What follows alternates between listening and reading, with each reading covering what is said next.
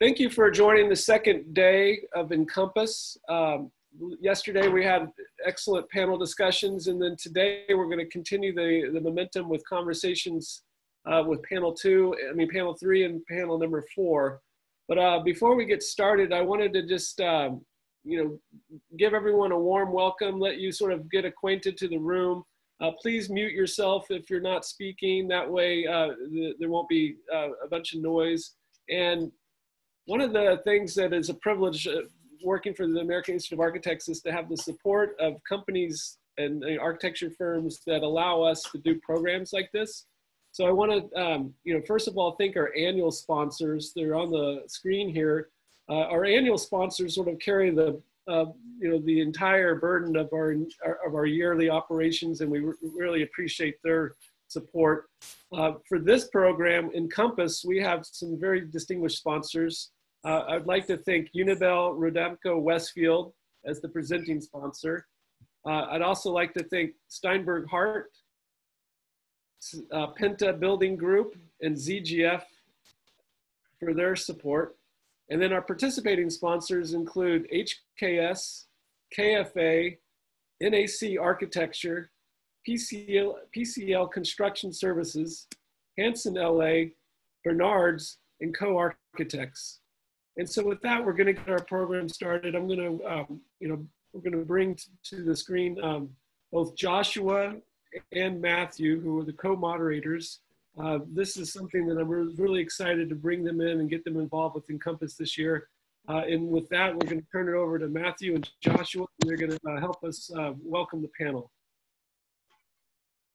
Thank you, Will. Good morning, everyone. We're really excited to have all of you here. Um, we have a really, really great panel set up for you this morning. Um, so the panel is entitled Student-Driven Discussions on the Impact of Coronavirus and Pre-Existing Inequalities. Basically, that means that we're gonna talk to students. We're gonna hear how they're feeling, how how, how they felt entering architecture school, the transition into everything that's happening right now, um, and just learning a little bit more about uh, about their thoughts around all these different things that are happening. Um, and then we're fortunate enough to after that have uh, another follow up discussion with faculty um, to be able to get some feedback from them based on what the students are saying and based on their, their thoughts around these topics as well. Um, as Will said, my name is Joshua Foster. Um, I'm a designer at KFA Architecture on the board of SoCal NOMA and the co-chair of the new joint AIA and NOMA Equity, Justice, Equity, Diversity, and Inclusion Committee, the JEDI committee. So we're really happy to have you here. And here's Matthew. Hi, good morning, everyone. This is Matthew Trotter, designer at Cunningham Group. I sit on the board of SoCal NOMA. I'm also the director of the developing uh, professionals there, and uh, I'm excited for the panel discussion today. Thank you. So yeah, so we're we're gonna dive right in, but before we do, we want our student panelists to be able to have a second to introduce themselves. Um, so we can start off with Deja, and then the rest of you can follow before we get started. Good morning, everyone. My name is Deja Slack. I'm from Moreno Valley, California, by way of Atlanta, Georgia, and I'm pursuing a Master's of Architecture at Howard University. Greetings, everybody. My name is Jessica Florence. I'm from Jacksonville, Florida. I'm a fourth year student at Florida A&M University.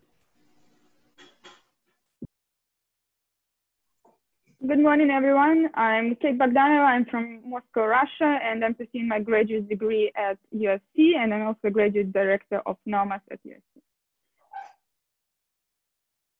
My name is Khan Mohammed. I'm a student at Woodbury University, fourth year undergrad for architecture. I'm the chapter president of our NOMAS chapter here, as well as the student board member uh, for SoCal NOMA. Morning, my name is Stephen Curtis. I'm a second year uh, student at East Los, architecture student at uh, East Los Angeles College. Um, and current vice president of our NOMAS chapter. Good morning, everyone. I'm Stephanie Green. I'm a fifth year student at Woodbury University, and I'm the vice president of our NOMAS chapter. Thank you all very much. Um, so, so we're going to get started right away. And to make this fun, um, we actually decided to change up the way this panel looks and make it a Jeopardy style panel. Um, so the students will have the chance to answer questions. Um, and once the time runs out for their portion of the panel, we are going to pass it over to the faculty. Um, so without further ado, we'll get started with Deja for 100. So Deja, when you entered architecture school, what were your initial expectations? Um, so when I entered architecture school, my initial expectations were to have classes that taught me design fundamentals um, for as far as drafting and drawing before translating that into BIM software. Um, and that's essentially what happened. And a lot of that also ended up being self-taught and from like peer-to-peer help as well um, to just elaborate just more on the technical standpoint from what we would learn in studio as a first year. That's good. Thank you. So up next, we have Khan for 300. Khan, when you, oh, there you go. There you go. Uh, Khan, if you could create one class to be added to the architecture curriculum, what would it be? I'd make a class um, I craft a class that's on the intersections of politics, policymaking, and public administration. Through my academic career, there's been a lot of focus on solving uh, housing deficits, uh, systemic racism, and climate change. I feel like moving on into the field, architects would need to learn topics or, or how to uh, how to move in politics, policymaking, and public administration so that we could start to understand how architects could then affect the built environment at a larger scale. Very good answer. Thank you. Up next, we have Stephen for 400. Stephen, in architecture school, do you feel as though there is enough representation of people that look like you? If not, where have you looked for this representation? So currently, uh, I am, I want to say, one of four African American students within our architecture department. Um, so I definitely feel like there, there's not enough representation. Um, but I feel like that kind of stems from there being a, a really kind of a lack of um, representation and support of, uh, of this field within uh, minority communities. Um, but for me, I was fortunate enough to kind of um, be introduced to NOMA at a very young uh, very early age, um, and that's kind of been my my core uh, inspiration for for looking for uh, architects that uh, kind of look like me. That's a very good answer. Thank you. So next we have Kate for 100. Kate, at this point in your architectural journey, how do you feel that your education has prepared you to enter the profession? Um, I fairly, I think that education prepares us uh, fairly bad for the profession. So there is a lot of design exercises, but there is a lack of uh, professional practice classes that explain how building the building from A to Z basically works. And uh, I think I learned a lot through my internships and learned actually more what from what I can implement right away after school Then I learned at school. Thank you for sharing. Thank you. Up next, we have Stephanie for 400. Stephanie, when you entered architecture school, what were your initial expectations? I thought I would be learning about uh, famous buildings such as the Walt Disney Concert Hall and how to incorporate those drastic moves into my architecture. But when I started at Woodbury, it was more of a gradual increase of complexity. So it wasn't a, a jump right in all the way kind of thing. Quick follow-up question on that. Do you do you feel like that was a, a helpful thing to be able to have it gradually going? I think it was helpful because it it helps later on, uh, you know, develop a process, but at the same time, it, it also loses some excitement. So there, I think there needs to be a better balance in that area. Thank you. That's a very good point. Up next, we have Jessica for 500.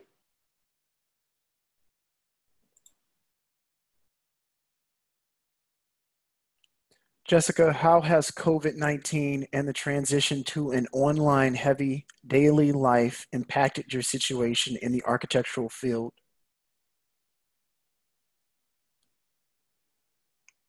You're on mute. no problem. COVID has affected me um, in more than one way. The pandemic hit about mid spring semester. Um, physical physical space is essential for me um, to get uh, a better experience in teaching and learning. Uh, COVID kind of created this disconnect for me uh, with architecture since I'm so used to being in studio. Uh, but it kind of forces you to recognize that there's like a segregation of knowledges, but it's not all bad because COVID, like with the situation, it provides like great opportunities for new ideas and innovations for future designs. Uh, I was also diagnosed after the pandemic uh, with breast cancer, uh, stage four.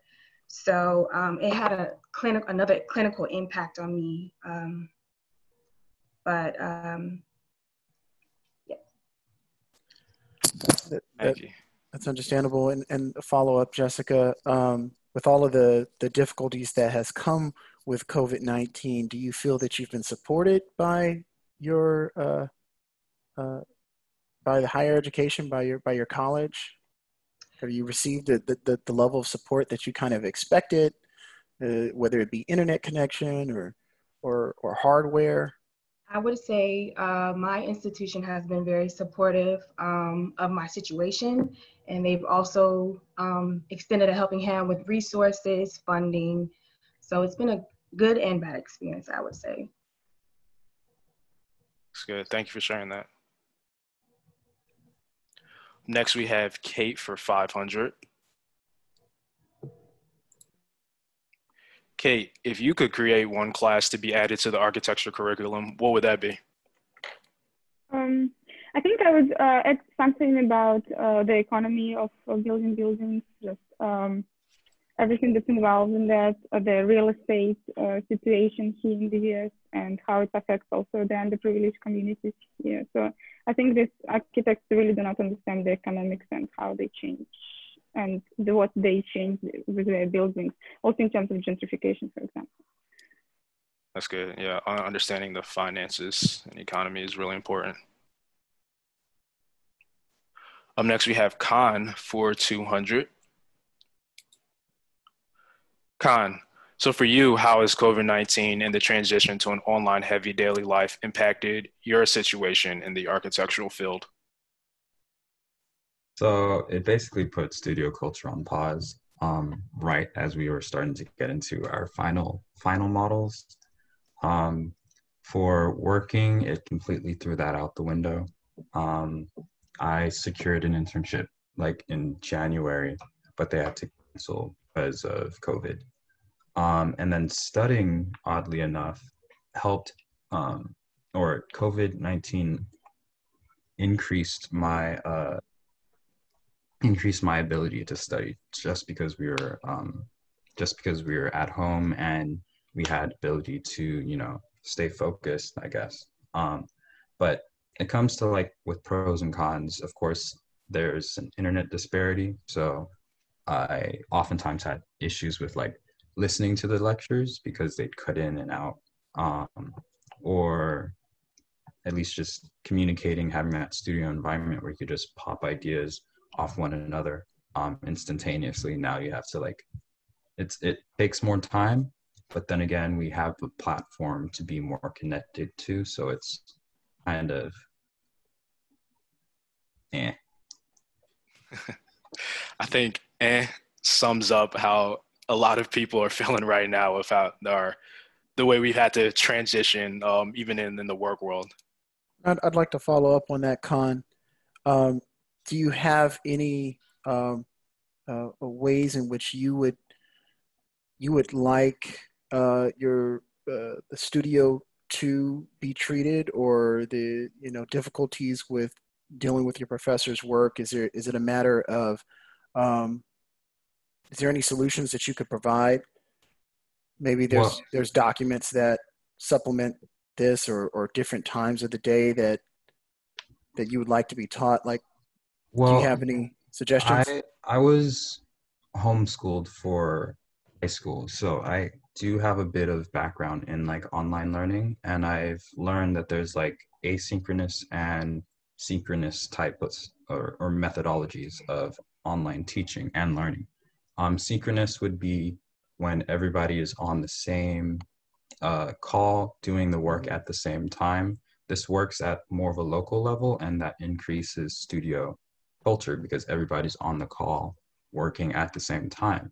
But that provides an issue when you have students out of state in a different time zone where you have a call at 8 a.m. on the East Coast, and then people in, on the West Coast have to get up at 5, right? And so in that situation, asynchronous teaching methodologies would step in where you set something out, you have a deadline for it like at the end of the week and then each student has the capacity to go at their own pace and make that deadline. Um, so you take away or you make it more flexible for them to go over that time difference hump. Um, so both methods could be played around with and toyed with um, in order to create the best balanced um, and for the most part, you have been experiencing synchronous. yes All right. Thank you for sharing. Up next, we have Jessica for 400. So, Jessica, if you could create one class to be added to the architecture curriculum, what would it be for you? Um, I would love to see more demo classes. Um, maybe designing, um, taking the time to design like container homes or tiny houses. We're moving more towards uh, green building, sustainability, and I think that th- those hands-on projects uh, and having demo classes would be definitely effective for future um, classes. So, you're talking about so maybe more of like a design build type studio environment? For design build. mhm. Yeah, awesome. Up next, we have Stephanie for 200.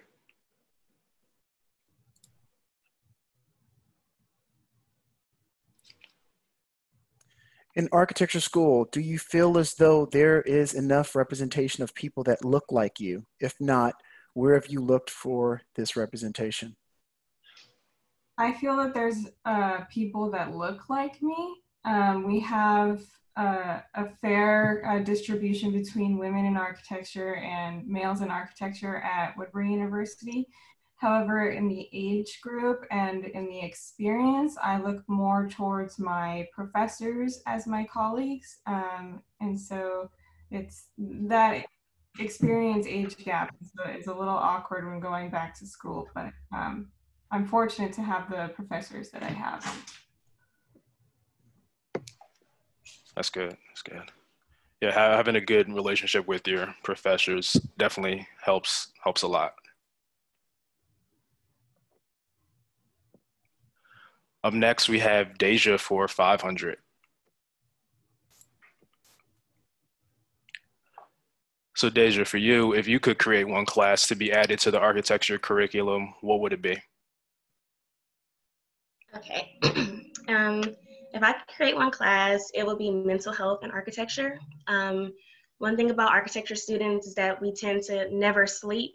Um, and besides the sleep aspect, there's also life challenges, and some students um, express that to their professors or they choose to keep it private. And so, speaking from personal experience, it's been times where I've worked myself so much that I've had anxiety attacks that have put me in the hospital throughout my matriculation of undergraduate school. So this class would be like a weekly check-in of workload, study hall, counseling sessions, and meditation, where the professors could kind of see how they could be assistants to maybe other students in a certain years and share this at faculty meetings to see really mentally what's kind of going on with the students in their courses for design. I think that's that's really important. It's definitely definitely want to be able to prevent burnout when you're an architecture student because it's very easy to to get burnt out and jaded before you even get into the profession. And that's that's not really good for us as, as we get into it. I mean being able to have that support group. Personally for me my my mental health class was going to every single usc football game while i was in grad school but that doesn't work out for everyone. So yeah having a class for that would, would be really good. Deja follow-up um, that's a very interesting suggestion i think it's a really cool idea for a, an elective. But do you also believe that um, there's an issue with just how uh, architecture schools typically uh, pursue their curriculums? Is you know is there an inherent issue with how we're being taught? I don't think there's an issue with how we're being taught, and that's just speaking from like Howard's perspective. Um, what I think is that there's a disconnect maybe with professors over certain years. Um, while they may be communicating what type of courses or um, assignments that they're going to give, they don't necessarily think about the workload for maybe a structures class and a studio project that's due that has a crit in two weeks, like two weeks later. So it's like the amount of work I'm putting into one class and another, it just becomes a super, just really stressful. And so instead of speaking up about it, which is seen as an excuse, we choose to keep that bottled inside and just figure it out and push it to the end. So I think it just needs to be more of a connect with communicating. The communication aspect is a little broken on the um, faculty side. Yeah, architecture uh, curriculum, you know, for a long time has been a little bit of the feed them to the wolves, and if they survive, the best will will will come out. And uh, and though I do believe the goal is to create really strong, powerful uh, uh, designers with a, a great skill set, it can come with the detriment of of putting incredible amounts of pressure, as we all know, because we all went to school, that uh, some of it is unneeded. So thank you for for that suggestion. Yeah, thank you. You're welcome. Up next, we have Jessica for 300.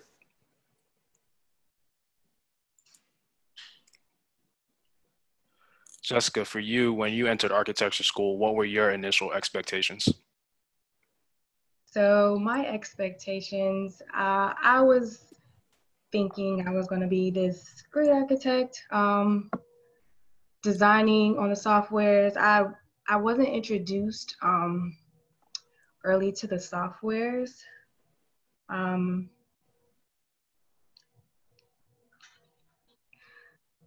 sorry, let me take a moment. Um, okay. so expectations I came in with the expectations of learning to draw because I didn't know how to draw, learning the software because I was not familiar with the software. This was something new to me. I didn't initially come in wanting to do architecture. So um, expectations was to learn all the fundamentals, to learn how to draw, sketch, design on the computers. But reality was there was a lack of resources for my school. There was a lack of funding and um, I was unable to, I was unable to, I'm so sorry. No, it's okay. Yes.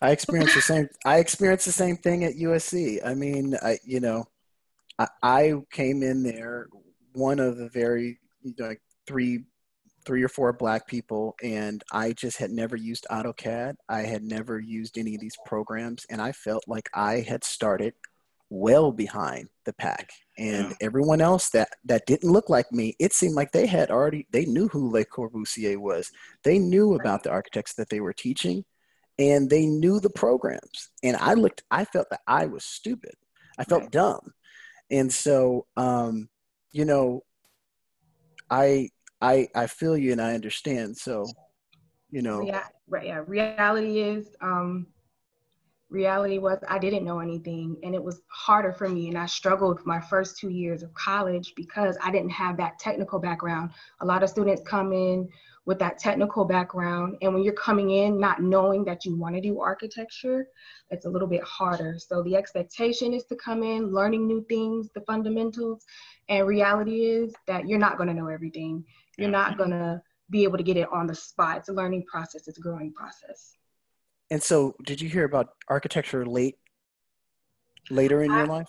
I initially went to was in school for um, industrial design um, and engineering, and I'm more of a hands-on type of person. I love to design. I'm not really a technical person. I wanted to be more creative, and so I went into architecture instead and um, it was definitely very difficult um, in the beginning.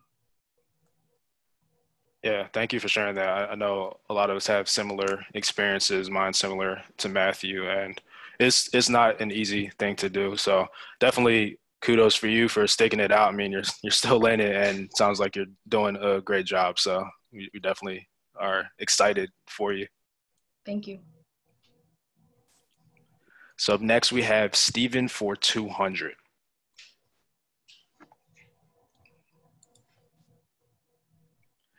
Stephen, for you at this point in your architectural journey, how do you feel that your education has prepared you to enter the profession? so for me, the my, the education aspect um, has taught me a lot. You know, between um, the design and the the more technical aspects. Um, but I feel like one thing that I've heard and, and learned over the past year is that obviously no student goes into the design field um, as a designer.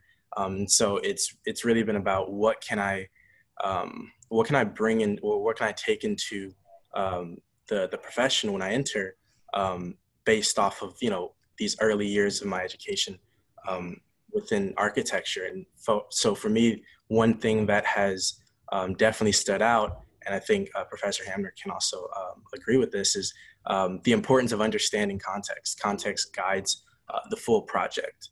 Um, and so that's something I've taken from design. Um, so not necessarily the designing aspect, um, but the understanding of how context drives uh, the project itself. Um, another thing I think uh, that has helped that has helped me tremendously um, is kind of just the te- my teachings on uh, multiple softwares. that's something that ELAC has provided and um, I'm forever grateful for, you know, starting out uh, in the architecture in, in, in this, um, in this major, um, is understanding softwares like AutoCAD, Revit, uh, SketchUp, Rhino um, within uh, a year and a half. Um, so uh, I think that has greatly helped me uh, enter the, into the profession.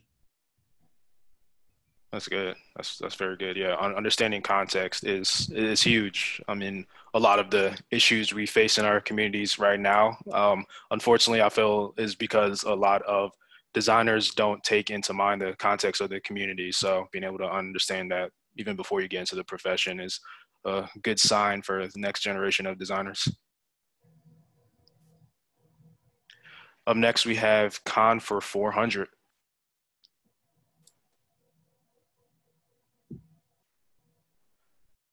Khan, at this point in your architecture journey, how do you feel that your education has prepared you to enter the profession?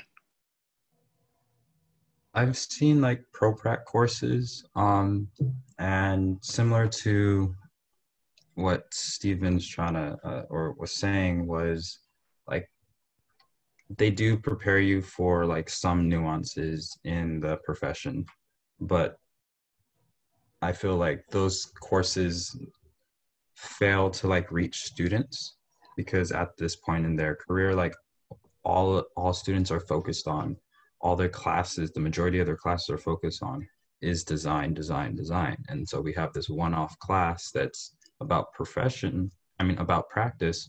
And so that's kind of looking the other way while everybody's still focused here.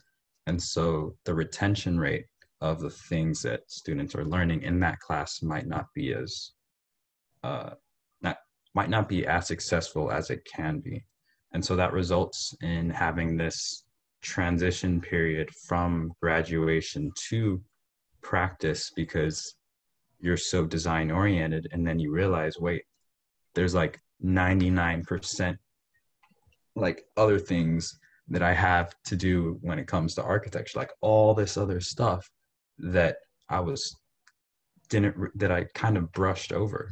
And so I feel like those types of skills aren't really taught um, to the best ability at universities. Um, oftentimes, students have to find and mine those those uh, pract- those experiences and skills through internships, which aren't equally accessible. So that's a very very good point. Um, so basically, you're kind of looking for more of a balance or seeming of emphasis from the curriculum to put more of an emphasis on professional practice so that the, the weight of it is a bit more heavy as you feel that it is in the professional world. Yes. That's good. So next we have Kate for 400.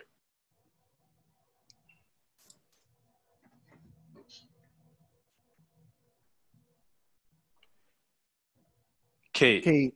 Oh, oh you got it. How has COVID uh, has COVID nineteen and the transition to an online heavy daily life impacted your situation in the architectural field? So I think the biggest impact was, of course, the community, as someone else already mentioned. It's uh, really hard to connect with people out that usually were right in your studio, and you can just go go and talk to them.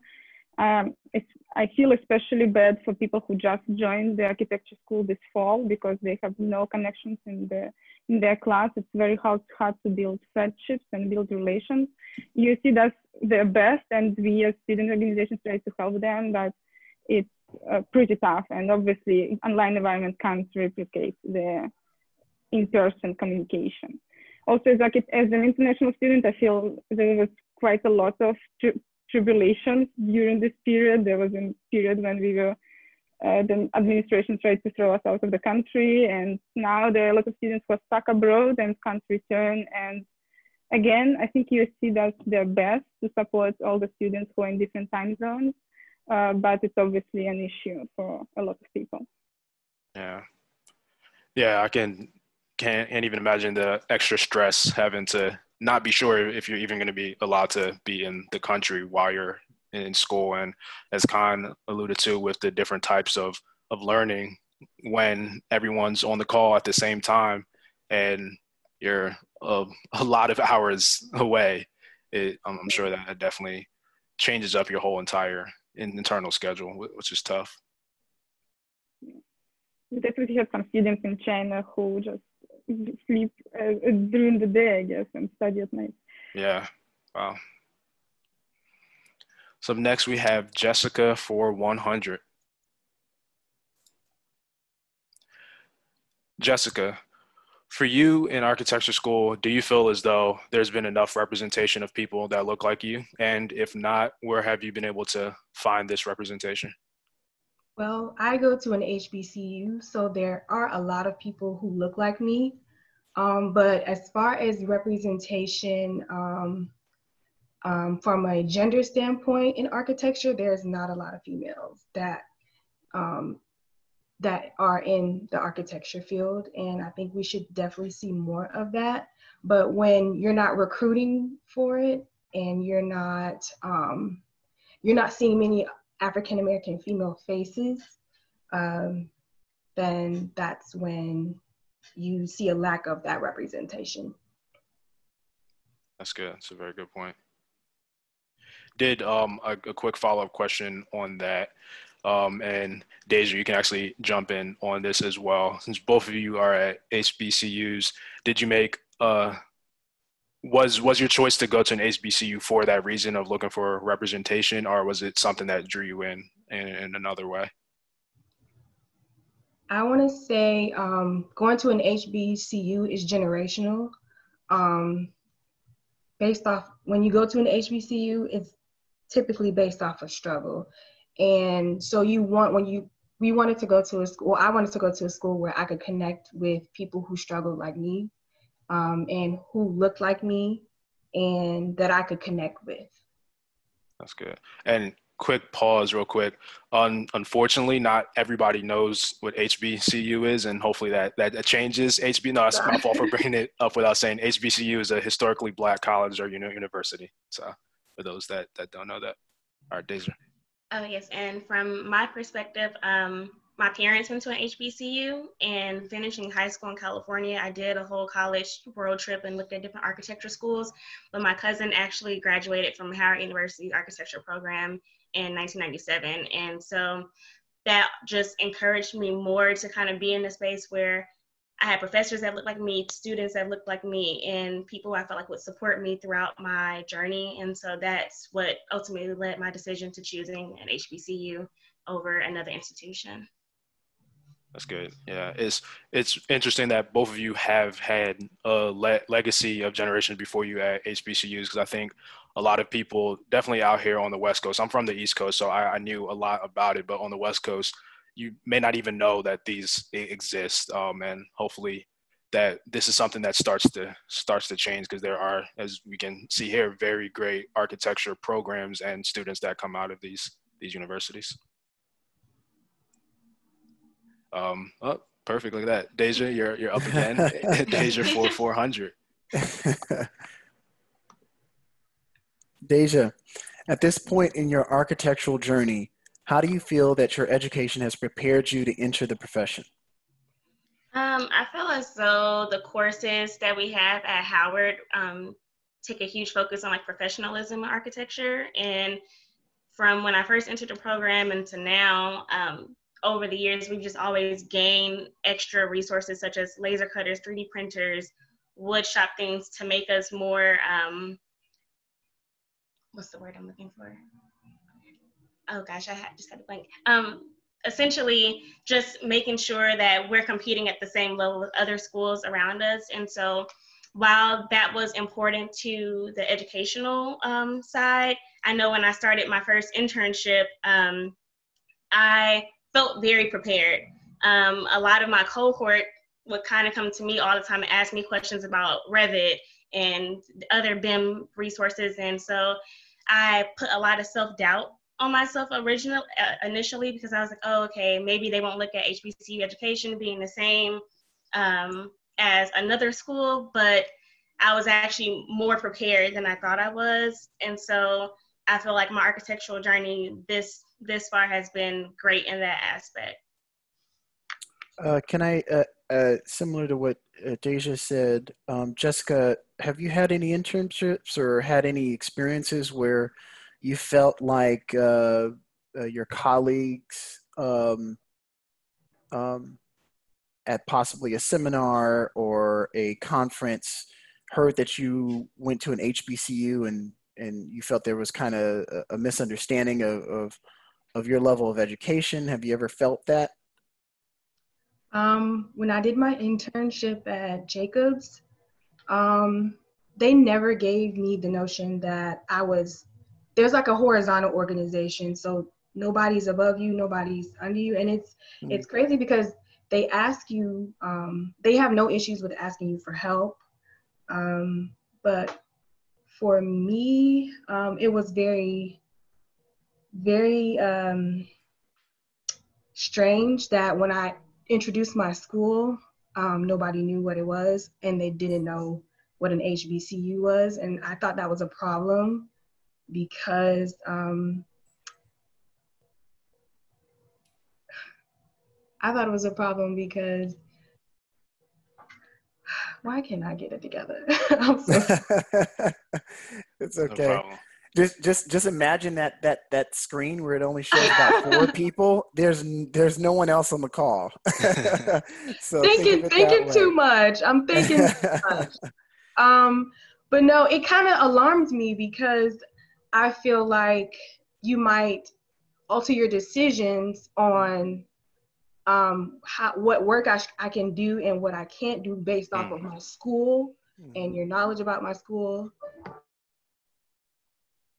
it's a very good point. It's a very good point. That's a good follow up question. Thank you, Matt. Um, up next, we have Stephanie for 100. I'm going to be able to knock out a few more of these questions before we pass it over to the faculty. Um, Stephanie, for you, how has COVID and the transition to online heavy daily life impacted impacted your situation in the architectural field? Uh, well, as Khan said earlier, studio was just taken from us, and that's where I spent all of my time, most of my time, being around people to see inspiration, to just piggyback off of ideas. That collaboration is not there anymore, even in an online environment. Um, and then just the, you know, going to class and having that structure and having everything in front of you, all the materials you need in front of you, being a physical learner and, an, and a, visual learner, the physical aspect is gone. And the visual is now uh, kind of, um, you know, I guess, exaggerated in an anxiety way where we're trying to coordinate different links and different um, softwares and new websites and how professors want to teach that in the online environment. There's Zoom, there's RingCentral, there's Google Meet, there's um, and that's just meetings. There's there's websites, there's blogs, there's you know all of these things, and it's like I, I don't have the normal textbook in front of me anymore. I just have a computer with a bunch of tabs open at once. And so uh, just the coordination of that, I wish more professors would understand that from our side. That's a good point. Thank you. Thank you. We're going to go Stephen for 300 then I believe this this should be our last one that we're gonna do before we pass it over to faculty. So it's good. We got everyone to at least do three questions here. Oh, that is very small, but that says, Stephen, if you could create one class to be added to the architecture curriculum, what would it be? Um, so if I could create one class that could be art, uh, added to the curriculum, I think um, what would be interesting is kind of um, bouncing off of, of what was stated earlier about this kind of gap between the profession and um, and current uh, school curriculum, um, I think it'd be interesting to kind of find a way to kind of link those two, um, and you know, kind of create this um, kind of intro class to um, kind of getting yourself uh, a little head, a little head um, in within the profession, um, so that you can be a little, you know, better prepared uh, once you leave the once you leave uh, the, the academic world.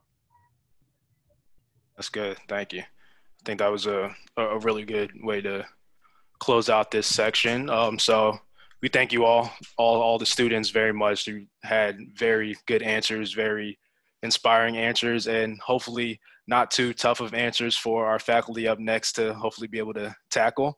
Um, so thank you all. Um, and let's move on to this next portion here. So this next portion, uh, before we get started, um, we'd like the faculty members that are part of this discussion um, to introduce themselves. Um, first one I see on my screen up, um, we can start with Alvin and then we can move on from there for introductions. Uh, thanks, Josh, um, and thanks for having me here. It's really exciting to be here and uh, see all these beautiful faces. Um, my name is Alvin Huang. I'm the Director of Graduate Architecture at USC School of Architecture, and I also am the Principal of Synthesis Design and Architecture here in Los Angeles.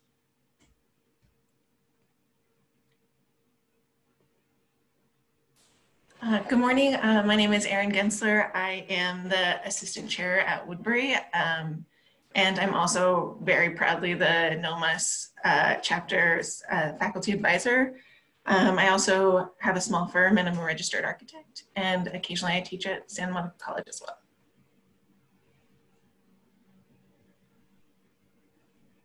I don't know if there's an order, Josh, so I'll go. Uh, hello, everybody. Michael Hamner, uh, practicing architect, chair of the architecture program at East Los Angeles College.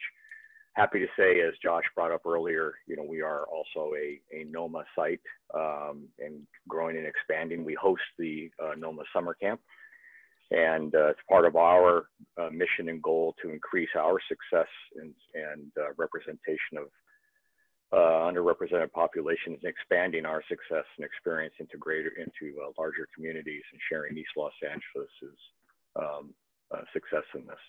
Glad to be here. Thank you. Hi, everyone. Uh, my name is Dahlia Nduom. I'm a registered architect and assistant professor at Howard University. Um, just very encouraged by the student responses um, just now. A lot of um, great responses. I'm looking forward to the discussion with faculty. Awesome. Thank you all very much. We are excited and honored to have you here. So um, we'll get started right away. I think to knock out uh, the first the first topic of, of discussion and anyone who has uh, thought on this can can start in on it. Um, because of where we are right now which is in front of our computer screens in each of our whether it's rooms our offices kitchens or wherever we're working um, and we've heard about the differences that the students have been able to overcome uh, because of covid so what's the, the, the good, the bad, and the ugly of COVID-19 for you all as faculty um, and online learning? Any, any lessons learned, any best practices, or even any things that you're still trying to figure out? I guess I, I can jump in then. Um, I think, um, you know, coming into our, starting this semester being online again, you know, we had more time to to basically try to implement and recreate um, a studio culture as best we can. I know that was one of the things that a lot of the students brought up was the lack of studio culture now that we're in an online environment. So we've been trying our best to use the technologies available to us to recreate that. Um, and so I think that is a good opportunity because we've you know we've tried to test out new technologies basically rethink the way we teach architecture so i think are opportunities in there for how we teach architecture as a whole moving into the future so for example using collaborative kind of whiteboard tools like mural um, we started using this semester which has proved successful so far we're only about a week and a half in but allowing the students to have um, a kind of desk space that um, they that we can view and their peers can view. So their peers um, can view it um, synchronously during our studio sessions, but also asynchronously. Um, so in, the intent is that um, they can then begin to have these offline exchanges as they would um, in the evenings in studio. So you know, trying to um, use technologies like that to help to improve the studio culture as best we can in an online environment. Um, other opportunities so far have been, you know, being able to tap into people in different locations um, that we would not have been able to regularly invite to the studio, invite to lecture. That's been really useful. Um, and, and we hope to kind of continue doing that in the future. Um, otherwise, you know, from the, the kind of the bad side, you know, just constantly managing, um, as Deja was saying, mental health. Like we, we do at least in our studio, do like a mental health check-in, like how is everyone doing? Um, because we know architecture um, education can be stressful and then kind of layering COVID, layering resource issues, layering other issues that students may be dealing with on top of that. Um, we are, you know, we recognize that and we try to, to, you know, constantly be aware of that and make sure the students are okay and seeking help if they need to. So I would say on the bad side, it's just kind of managing all of the resource technology and mental health issues. So, um, so far we're still figuring it out, but I think we found some good strategies to, to begin with. Thank you. Yeah, I think if you were to have asked me, um, let's say six months ago, whether or not it was possible to teach architecture online, I would have firmly, resoundingly said no. Um, and uh, after having done it for one semester i actually feel like not only is it possible in some ways it can potentially be better.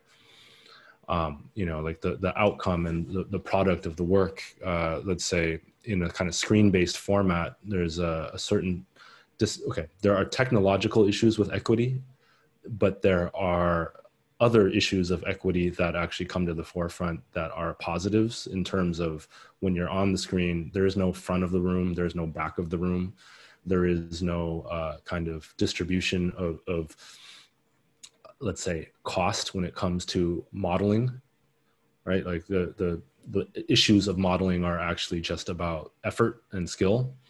There are issues about proficiency.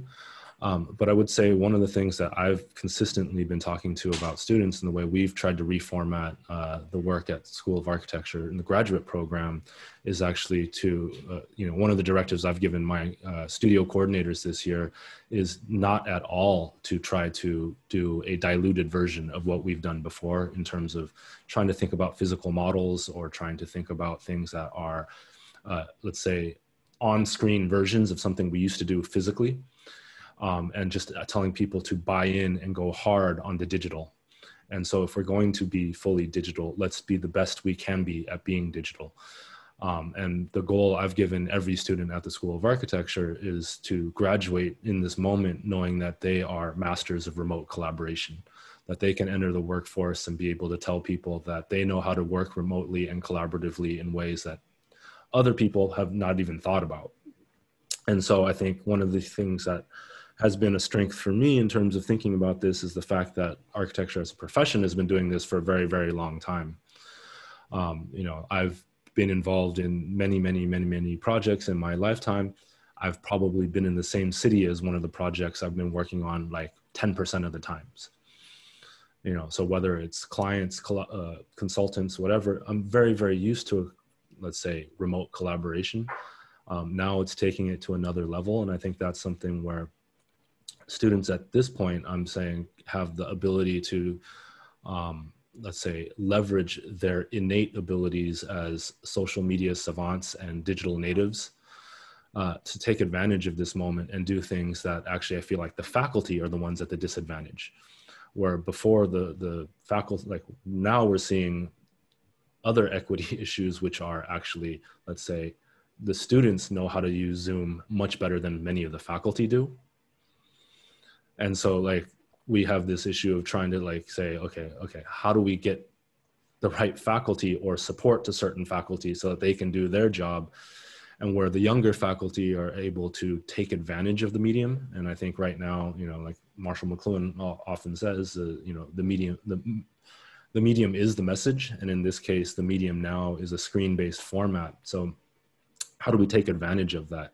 But i think as dahlia mentioned the bigger issue is not the output, but it's actually the culture and how do we create that. And I think uh, you know events like this where you know we can see each other face to face and have conversations. Uh, I think platforms like Miro, which we're also using as ways that we can kind of create, uh, let's say, a virtual building that you know people can walk the halls and kind of have the chance in uh, encounters of looking at the work of other students and looking at each other um, but also thinking about things like Slack, where we're kind of introducing a, a, kind of virtual chat culture where students are now, you know, we, we started an all uh, graduate architecture Slack channel where students are able to engage with one another, ask questions, and not just ask. Now, when they ask questions to their instructors, it's not like one email that gets exchanged back and forth between one instructor and one student.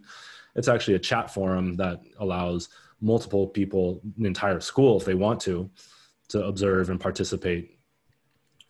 Um, and then finally, I would say that there's also a sort of uh, opportunity here for people to really take advantage of this uh, virtual culture as a way to have conversations. And so one of the things we've done is changed our, uh, actually, Josh, you took this course with me, uh, 409, the architecture boot camp at yeah. USC, the kind of pre-term boot camp which, as you remember, was a, a, an important sort of introduction to architecture through a kind of boot camp process of learning fundamental skills, but really engaging with one another and really about connecting with your fellow classmates and your faculty.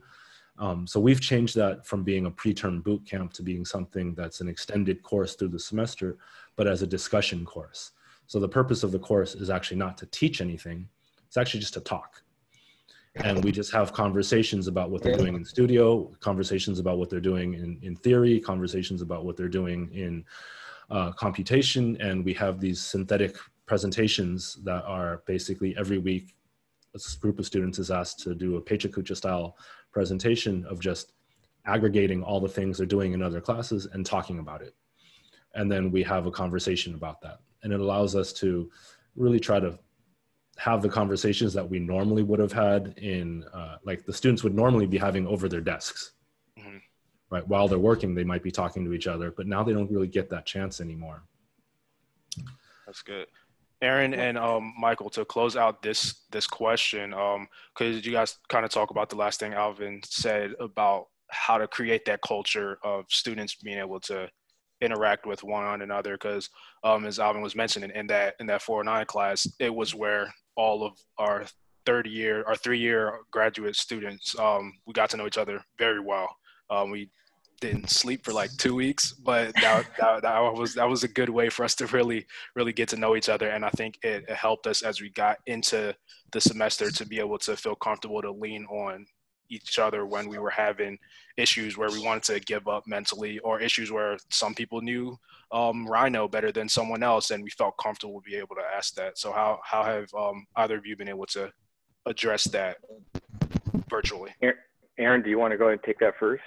Sure, uh, happy to. Um, uh, yeah, I mean, I think like what Alvin and Dahlia have been talking about are like things that we're all in the academic world sort of learning how to do in real time. And so we're implementing programs and seeing what works and what doesn't um, throughout the semester. And the students are uh, going along with us, and I'm so grateful for that.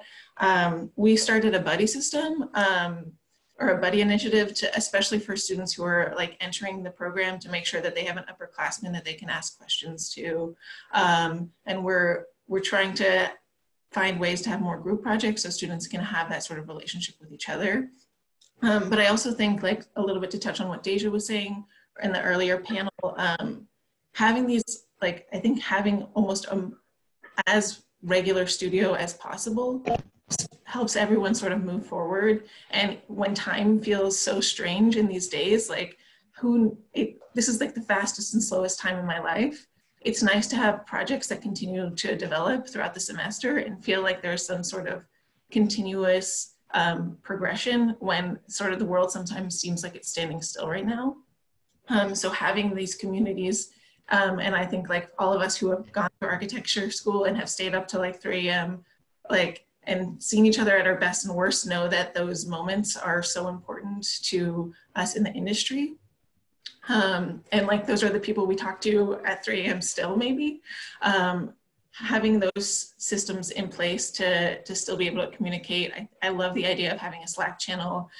Um, and like it's great to have this forum where I could hear what's happening at different schools across the country. And I, I, like I think that like this also has sort of like leveled sort of the playing field. Like we are all going through this really enormous event together. And, and so having that sort of conversation with students where we all know this is something that's going to affect all of us. Is that, is that ready? You ready for me, Aaron? Yeah, go for it. well, uh, I have to take a different perspective um, because of who we are and uh, being a two-year program. But I absolutely resonate with the comments. In fact, there, I felt that Dahlia, as we started off, taking a number of things I wished I, I, would have been able to share. So I share with her. The same with Alvin, um, and and and now with Aaron. But we're a two-year program, and as a two-year program, um, I, am not one to assume because obviously our students whose situations uh, they carry on as they transfer to the next level. To say that a university student doesn't suffer the same uh, issues that our uh, community and two-year students do would be would be ludicrous and would wouldn't be beneficial to this to this discussion. But the vast majority of our students suffer some level of housing, uh, foods, and other insecurities. The technology issue for us in, into our students, and again, we're a program that's an open program so we don't choose our students. Our students come to us with a dream, uh, oftentimes not college bound initially when they come to a school like ELAC or another two year program. And uh, we're trying to uh, replicate. We have articulation MOUs with universities. So that means that our first two years of Design Studio, as Stephen can attest to, translate and are, are credited Um, many of our students transfer to third year programs, which is an incredible asset and, and an opportunity. And that's why uh, I, I, champion our pipeline at ELAC as being a very special place to uh, provide opportunities.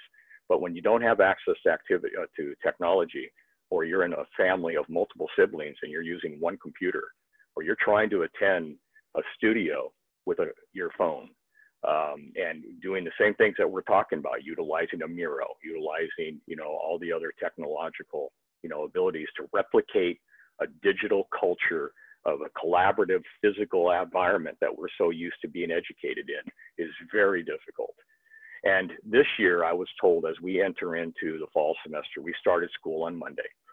I've been told that we will continue online through the spring semester and we will update our course curriculum. I, as the chair of this program and as a professor and instructor in certain courses, will never physically meet some of my students, the new ones, the freshmen. And these are kids who are coming into college for the very first time and they're choosing this very unique uh, profession and, and academic uh, methodology. And we champion this methodology as being actually one that actually helps promote educational foundation. Even if they don't stay with us in architecture, we believe that the first couple of year semesters into a design studio using object and project-based learning changes the way a student will look at learning in other disciplines and just changes their trajectory as being a student in general, whether they stay with architecture but we won't make that connection with them. I may not ever meet a student because they're not in my class. I have to jump in on a Zoom with some other professor or students, but I'm just this little, you know, well, we have 100 and some odd people here. So I'm looking at a gallery of like eight pictures by nine pictures deep on my studio. I'm, I'm the size of a postage stamp. That's not connecting. And so the COVID thing on that level hurts us. But as I transition from this comment, I'm also talking about other issues that are happening when it comes to um, the insecurities for the people who don't have the resources. Students don't know what architecture is, and so they're coming in completely unprepared, or they think it's this and it's not really that. And then there are some exit uh, comments that were stated here about how this, how our academic uh, curriculum is actually preparing students for the profession. And that's where I think we come in and shine even more especially because we started off as a. am uh, finishing up here with this one, Josh. We started off as a vocational program. We're 75 year old program, second oldest in the state of California. And so we maintained a lot of that technology and CTE, but of course we're a transfer oriented as our primary mission, but all that other stuff comes along with it. So practical matters from technical drawing, digital uh, accessibility to our students, as Stephen mentioned. Stephen's been a great ambassador today, by the way. And of course, our transfer design studios, um, you know, helps. But anyway, thank you for that. And that's a that's a perfect uh, um, uh, uh, transition into the question that I wanted to ask next was, and I'm hoping for for the sake of time, we have uh, two uh, of our faculty answer this question. You kind of touched on it, um, Michael.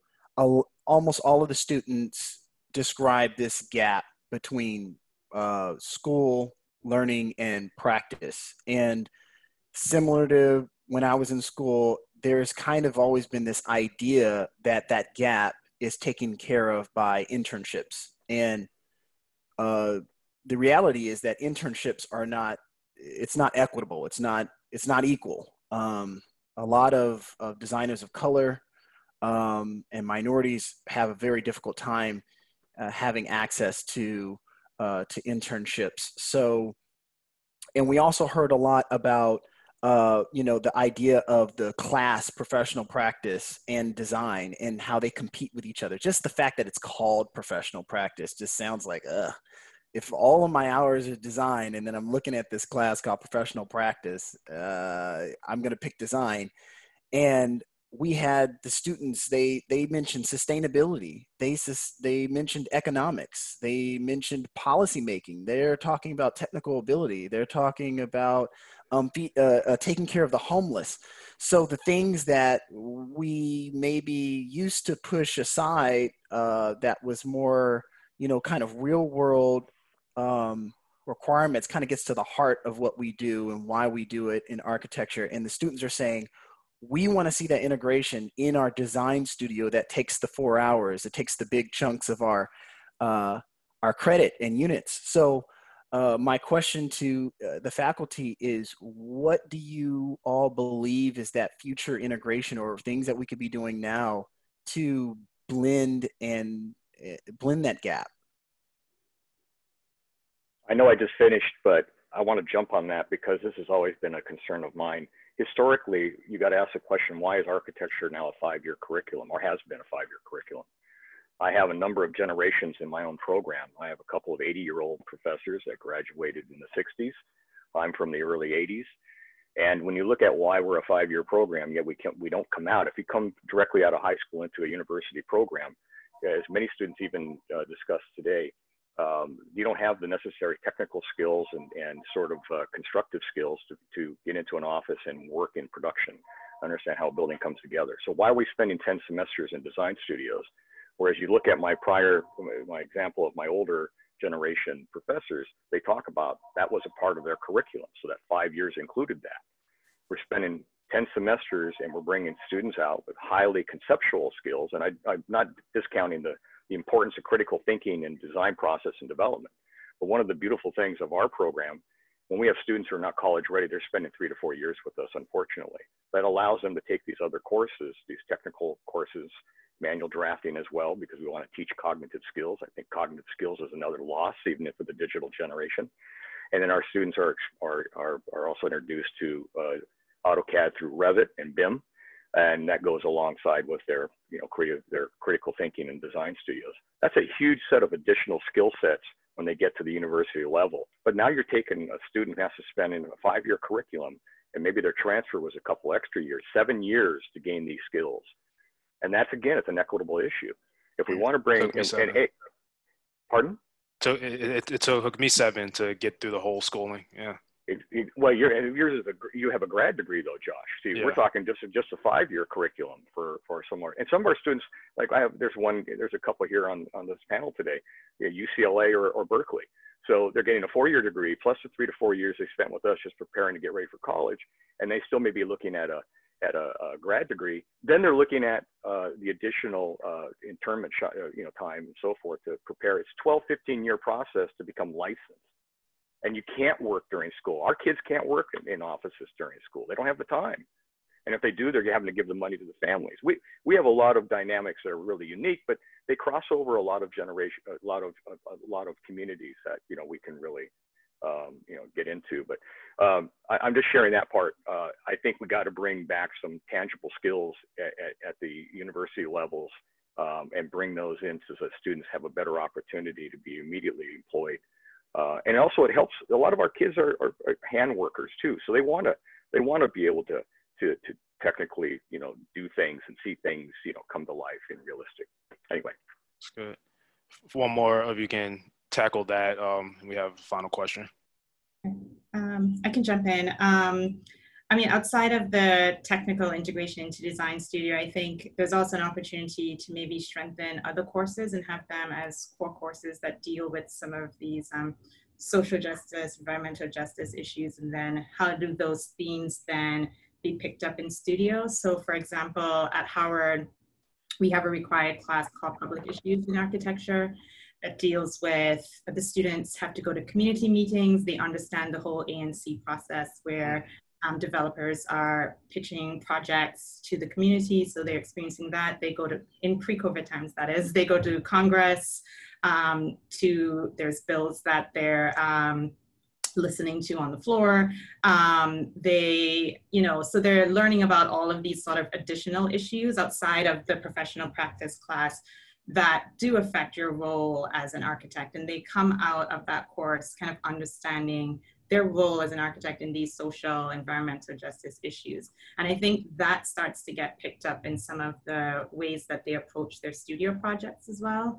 Um, and so that's a required class. Um, and so having more of those sorts of you know, um, classes that are required outside of the technical requirements and seeing how those can then be picked up in studio. I think there's a lot of opportunity there to kind of create a more well-rounded um, a, a student that's ready for the profession outside of just this one professional practice class. That's good. That's good. I, I really like that idea of having involvement in community meetings and things like that. I, I was able to stumble upon one um, outside of grad school when I was in grad school, and it actually really changed my mindset about what I wanted to do when I entered the profession. I, I think that's really good. Um, uh, it looked like about Can I make a really, Yeah. Can I make a really quick comment? Um, I, I, I totally agree, and I think that the um, uh, Jessica mentioned in the the first uh, discussion that like you're not going to know everything, and I still feel that way. Like in the profession, working, the like architecture is a lifelong learning experience, and the more that we like understand how we learn and pick up tools fast, technology changes, everything sort of adapts as we grow and the field grows, and so I think one of the really important things about the architecture education is to be able to hop onto a project, push it through, and understand. And so I think that's what Studio intends to do. And I, I also like the idea of really incorporating more design build um, classes that Jessica brought up also. Um, but right now in COVID, we had to cancel a bunch of ours. And so how do we, in this new virtual world, like tackle those issues? Um, it's not an answer, it's more a question. Yeah. I think I think that's actually a perfect transition. Um, there there are some questions and things popping up in the chat.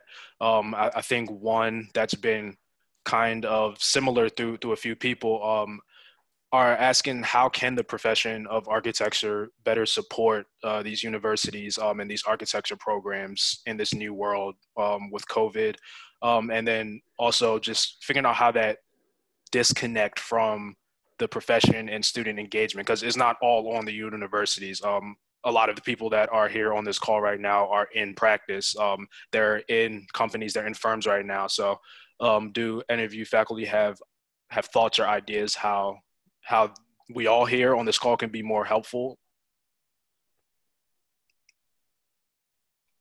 I think internships are so important and having internship accessible to uh, and paying interns. Like, I think that's so important. Um, but also because we're at Woodbury, we have an IPAL program, which is when students graduate after six years with uh, like taking all their licensure exams. And for that, they also need to complete a number of internships and they're not being able to do that um, because uh, industry can't support internships right now. We're a big we're a big believer in internships. As long as I've been uh, in academia for 28 years, and in the the head of this this program here at ELAC for 15, the consistencies in the internships and when we offer that as a as a product of our curriculum uh, offerings to our students is what needs to to uh, um, there needs to be a stability in that. And if the economy ups and down, firms can't offer those paid internships, which they do. They have to be paid, like Aaron stated. They're very beneficial um, and providing that accessibility for our students to see how real firms work. You know, our, a lot of students, as we always talk about, come from neighborhoods. Well, they don't even know what architecture really is. It's it's hit and miss. That's that's one of our other big goals is to reach the communities more and really demystify what architecture is. You don't have to be a science and math major. And you can see these different activities that an architect can take on in roles. Not everybody's going to be a designer. Not everybody's going to be a production person. Some people are managers of people. I mean, you see it in personality. Some people are better at working people and managing them. Others are more, you know, face to the table and designers or producers. Uh, there's so many roles that we can take on. And of course, you know, as a two-year program, we're a fundamental developer. So we also have pathways for inter, uh, interiors and industrial design and, and even up through gaming, you know, it's outside of the traditional architectural enterprise. But there's got to be a consistency if the firms want to commit and help with this endeavor, especially in reaching, you know, and, in providing inclusivity and in reaching a diverse population. We have to be able to be consistent. But when economics play a role, sometimes that can't happen. And then that changes our dynamic and our serving our communities and helping, you know, to get the next generation of architects into the, you know, through the system. It's good. Alvin, it looked like you were about to jump in on that. Well, I was just going to say that one of the things that um, you know I do in my practice, and so I, am you know I have both the practice and I'm I'm teaching as well or, or and directing the, the grad program. One of the things that I've done is actually implemented an internal policy for diversity in my own internships, or not just internships, but hiring as, as a whole, which isn't just about diversity in the sense of, you know, uh, people of color or gender diversity, but it's actually uh, institutional diversity. And so, as somebody who's you know teaching out of school i actually put in a policy for myself that i can't have more than one person from the same school like i can't keep hiring from the same school um, and that keeps me from you know having an office full of USC students and um, or an office full of whatever. But I think it helps me not only have uh, address sort of the issues of like you know let's say just being all one from one school, but also having a diversity of thought. And I think that's something that also forces me to look at other CVs and look at other people that I normally wouldn't look at. And I think that's something that um, firms really should be taking a look at the you know let's say the people not just the the, the product because i think um, you know one of the big things with uh, you know for myself with hiring is that you're actually hiring the person rather than than the, the work that they're producing because if they've gotten the interview it means that uh, the portfolio like everybody i interview then you know is their portfolio actually passed the test.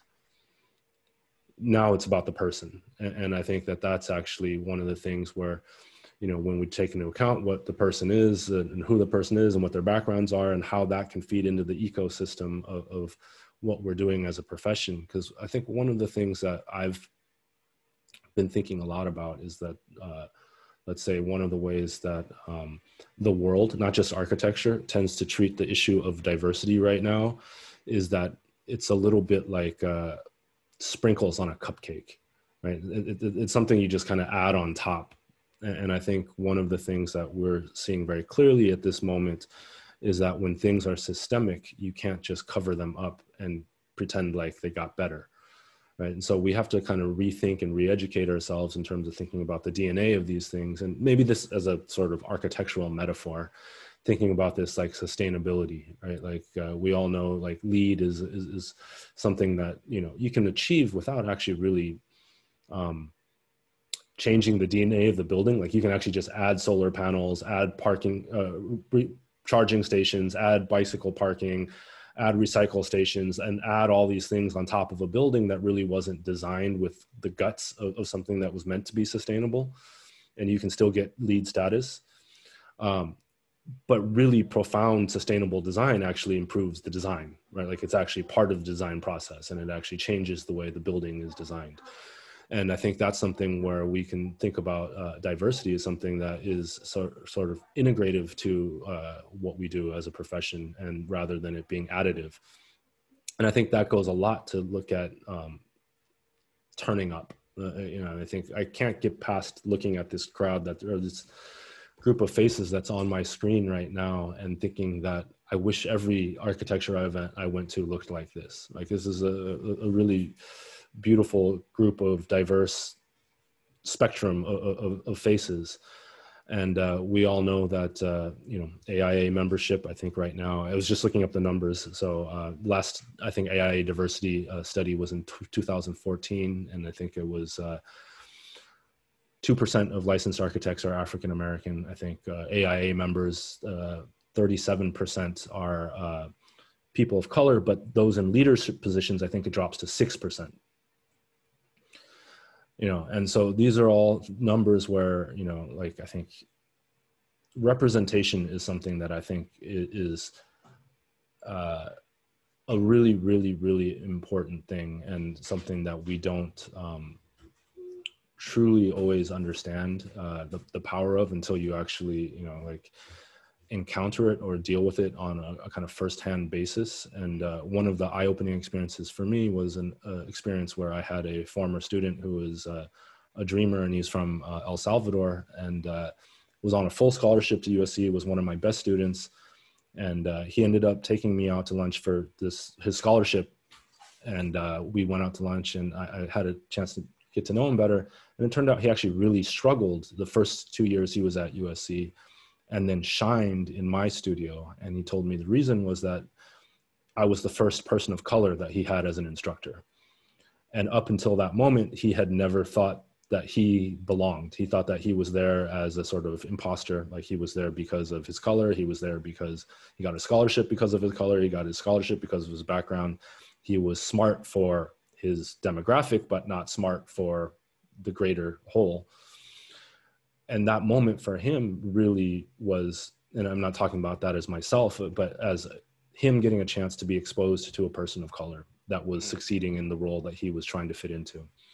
And so I think one of the things that we can do as firms, as professionals, as instructors, is to acknowledge the fact that we can only teach what we've been taught and what we have been taught is supporting a historically systemically racist and systemically uh, white male dominated canon of architecture. Um, you know that that's one of the things that again another sort of story about this. I took a group of students on a tour of a walking tour of venice to look at uh, pro- significant projects by uh, la architects along the venice beach and, and venice canals. And for the life of me i could not find one by a woman or a person of color. It was they're great projects they're, they're Thom Mayne frank gehry fred fisher Lorcan O'Herlihy, like, like a lot of people I truly admire and truly respect. And so it was a conversation I had with my students where I said, look, I can look at all of your faces, a group of 13 students, and know that not one of you will ever grow up to be a, an old white man. But we're going to go look at a bunch of buildings by a bunch of old white men, and they're really great buildings. And it doesn't mean that they're, it's a problem that they're all by uh, that they're that we're going to go look at all of these. The problem is that we are here to change that. Like we are here to change the fact that in the future, people will be going tours that won't just be about old white men. That's good. That's good. I think that that's a, a, really good transition. There's a lot of um, questions coming in the chat, and basically all all of these are coming around the idea of representation and and diversity. Um, there's a few questions talking about how how are we able to figure out making making the diversity and the representation something that doesn't seem as one a handout um, one that seems as like we really belong because there's also a, a sake of making sure students don't come into the program like like you were saying alvin where your student thought that he was just the best for for his his people or the best has, has to be the face of of the race which is something that it's really hard for students to take on um, and then also question being how, as faculty or directors of faculty, are we able to bring in more representation, like actually having professors of color, actually having um, guest crits and reviewers of color. Um, I've not once in my entire architecture schooling career of seven years been taught by someone that looks like me. And that is a problem for seven years, two different universities, and not having that be the case at all. Um, and so we want to kind of see what, what your thoughts are on that. This is we're going to close out with this in a few minutes. Um, and Dahlia, if you could start on this because I know you're looking at it from a different perspective of one being a professor of color, but also being at a university that that that does that. Right. Yeah. So um, I was like you. My education um, in undergrad um, I didn't have any professors that looked like me, and there was no one else actually that looked at me in my undergrad program. In grad school, same thing. I was like, there was like a handful of us, um, but I was fortunate enough um, to to have a few professors that looked like me, female, um, black professors. So I was fortunate there, and that's actually what um, drew me to teaching at Howard to be able to provide that for other students, to be able to, um, you know, be in that environment where students do have that diversity in their faculty, um, but also diversity in the where we are coming from. So um, the faculty is quite international. We have two Asian professors. We have um, I'm from the Caribbean. Um, we've had other professors that have come from the Caribbean. So I think that also lends another layer to diversity um, in the faculty because then that trickles down into the types of courses that we teach when I know there's been conversations about kind of the Eurocentric um, architecture education. I think having that diversity of the faculty and those experiences has also helped in kind of decolonizing that curriculum. So some of our faculty have taught um, East Asian um, architecture courses. I teach a tropical architecture course. Um, even though we still have our architectural history and theory, which is, you know, covers, is still very Eurocentric heavy, and I know we have, we can improve there. But I think having that diversity of the faculty has helped with some of the other classes to just um, kind of create more exposure to different cultures, um, looking at architecture from different perspectives. So I think there's still improvement, but I, I think um, that's really important, that diversity, not just from um, people of color, female architects, but also from that background um, to help decolonize that curriculum. That's good. We have time for one, one more of our faculty to answer this question before we wrap up. Um, I, it's okay, i would like to jump in. Um, I had the pleasure of working with uh, two of the students who were on the previous panel, Khan and Stephanie, this summer on writing. Um, I was mere advisor to this, but they were writing a letter to the administration on things that they wanted to see. And to see them like speak up and ask for what they want to see for their education was like such a powerful experience. And I urge you to uh, look at what a lot of the NOMAS chapters have sent to their administrations. Um, but I also wanted to comment on something that Alvin said. Um, we can only teach what we've been taught, but I think it's our responsibility as educators to also be progressive and to look at the future of the profession, which like we hope to see looks different than the profession that we entered into. Um, and to see that sort of evolution happen and to do the research and to put the time in to make sure that we're not just teaching what we, we know, but also teaching what we hope to see. That was great.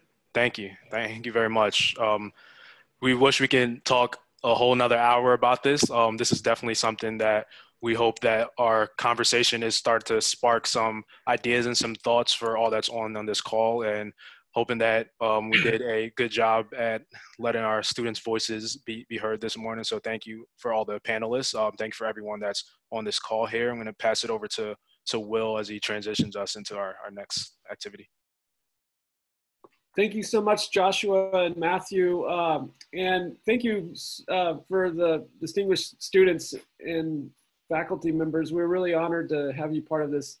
Um, we're going to start the next program right at 9.30. So everyone that's here right now, stretch your legs, stand up, uh, clap your hands, um, do your jumping jacks. Um, I really want to thank the sponsors once again. Uh, in addition to our annual sponsors that really support the chapter throughout the entire year, we are honored to have as Encompass sponsors our presenting sponsor, Unibail Rodamco Westfield. And the friends of Encompass include ZGF, Penta Building uh, Corporation, and Steinberg Hart. And our participating sponsors are HKS, KFA, NAC Architecture, PCL Construction Services, Hanson LA, Bernards, and Co-Architects. It's with the support of those firms and firms such as our annual sponsors that really help us, the AIA Los Angeles, deliver programming like this.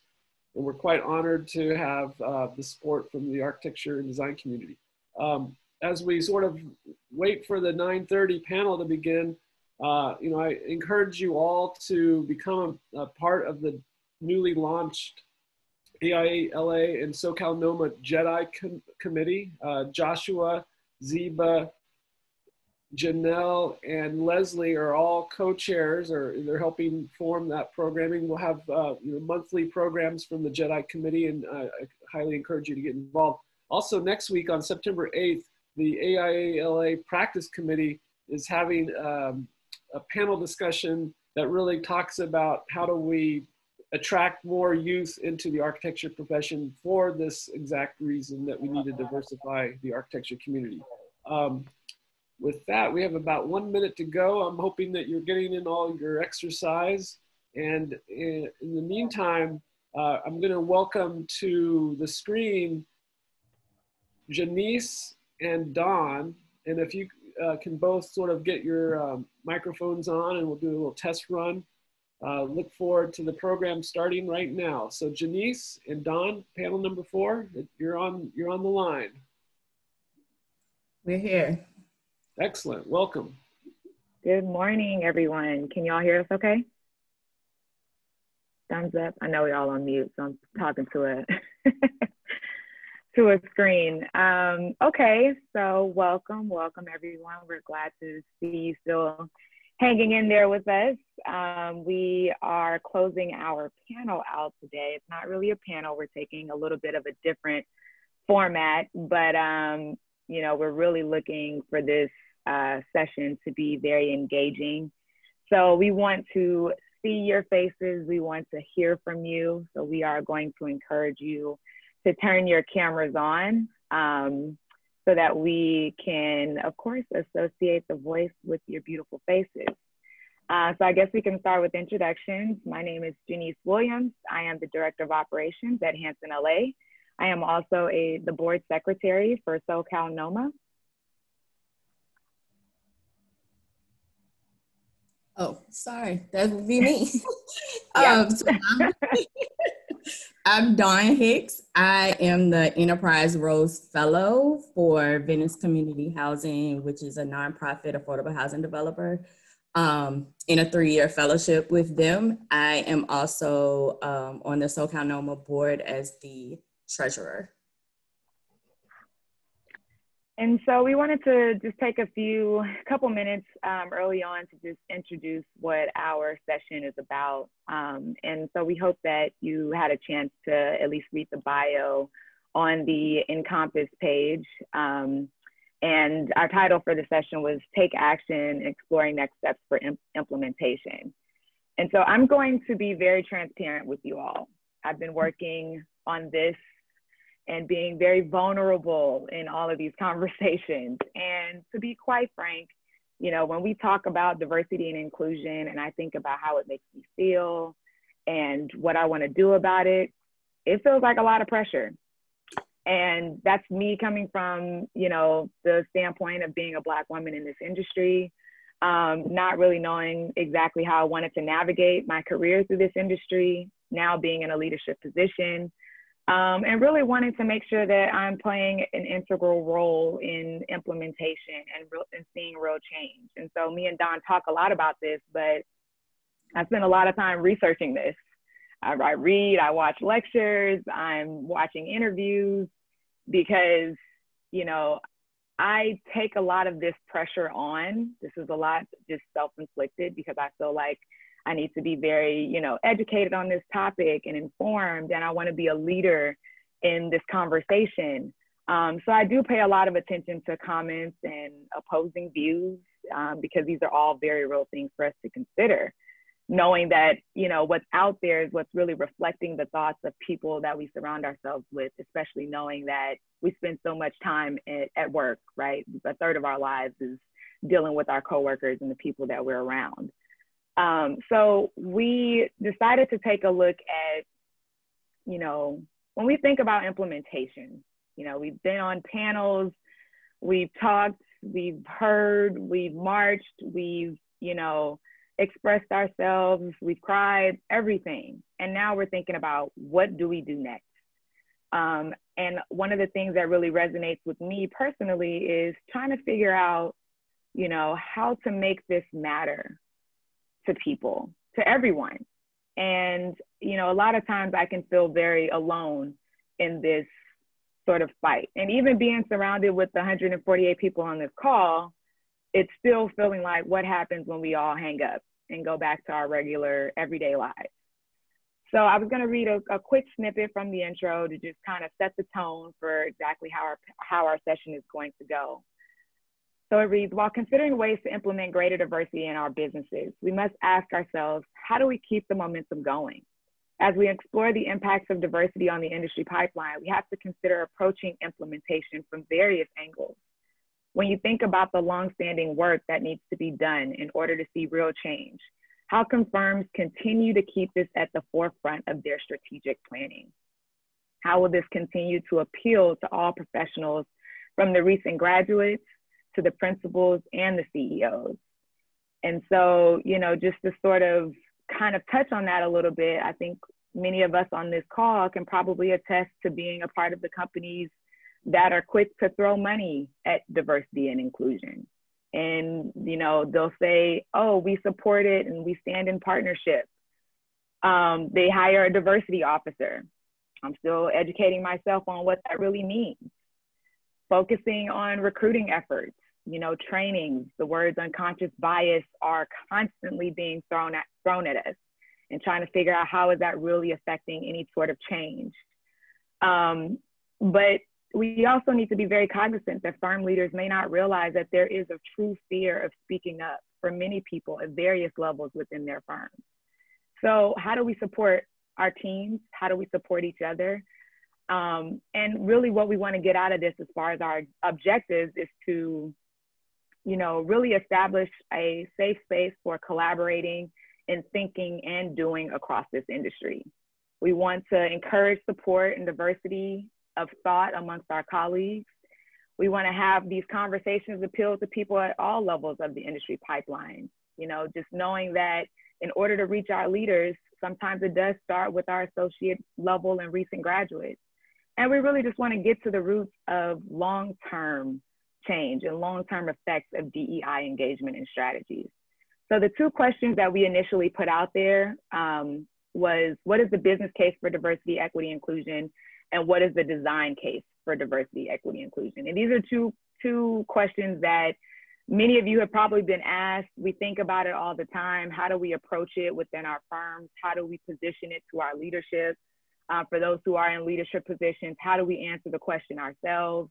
And so thank you to those who did uh, send us some responses um, prior to the start of Encompass. So we did take your responses into consideration and we use this to really sort of help um, guide what we want the um, sort of poll questions that we're going to set up for you all to respond to, to just really get a feel for how, you know, everyone is feeling about how to respond to these questions. So, um, you know, we think about the design case, and a lot of us can probably already sort of think about, you know, the design case and be in unison on how we feel like the design case impacts DEI. But the business case is a little tricky.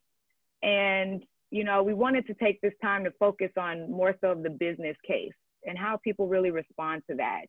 Um, so, what we're going to do is launch a series of poll questions and we want everyone to answer the poll questions and we'll use the responses to the poll questions to just sort of help guide our conversation. So Dawn will be paying, Dawn and I will be paying attention to the chat and as well as the raise your hand tool, we're gonna encourage everyone to use the raise your hand tool. So after we review the responses and see what our results are from each poll question, we'll take maybe two or three responses um, for anyone who would like to sort of elaborate on how they feel or what their response to that question may be. Okay, so Kareem, could we launch the first poll question, please?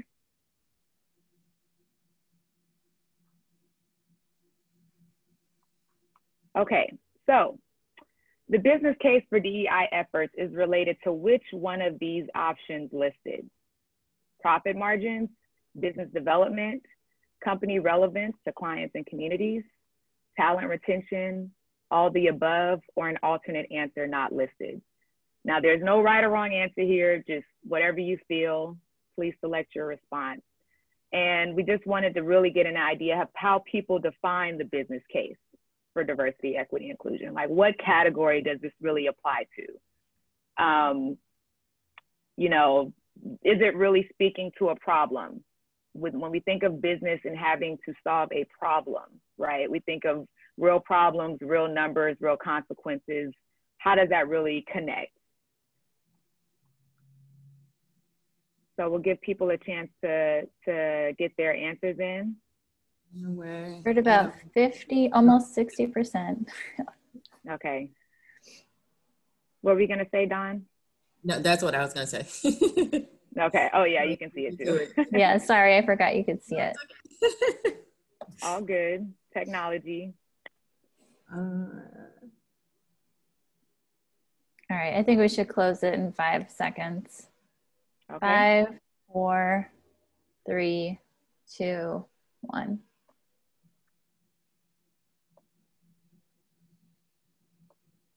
Okay, interesting. So a good majority of the people, 58% said all of the above.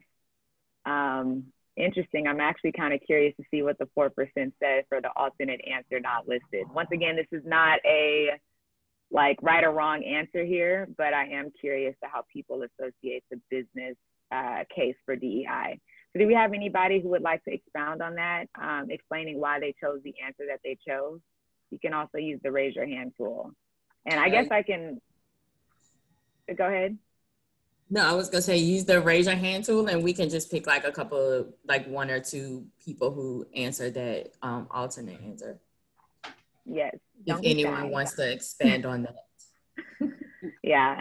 And just this is Will Wright, just to sort of encourage the 153 people we do have in the room. Um, this is your moment to shine, so please engage with us. If you're asleep at the wheel, then uh, we'll feed you more coffee. Yes, we definitely want to encourage engagement. And, you know, like I said, I can set the tone a little bit for this because I've been researching and reading, and I hear a lot of different sort of opposing views to why there should or shouldn't be a business case. Um, and, you know, how businesses should approach the thought of DEI. So we really want to hear from our peers.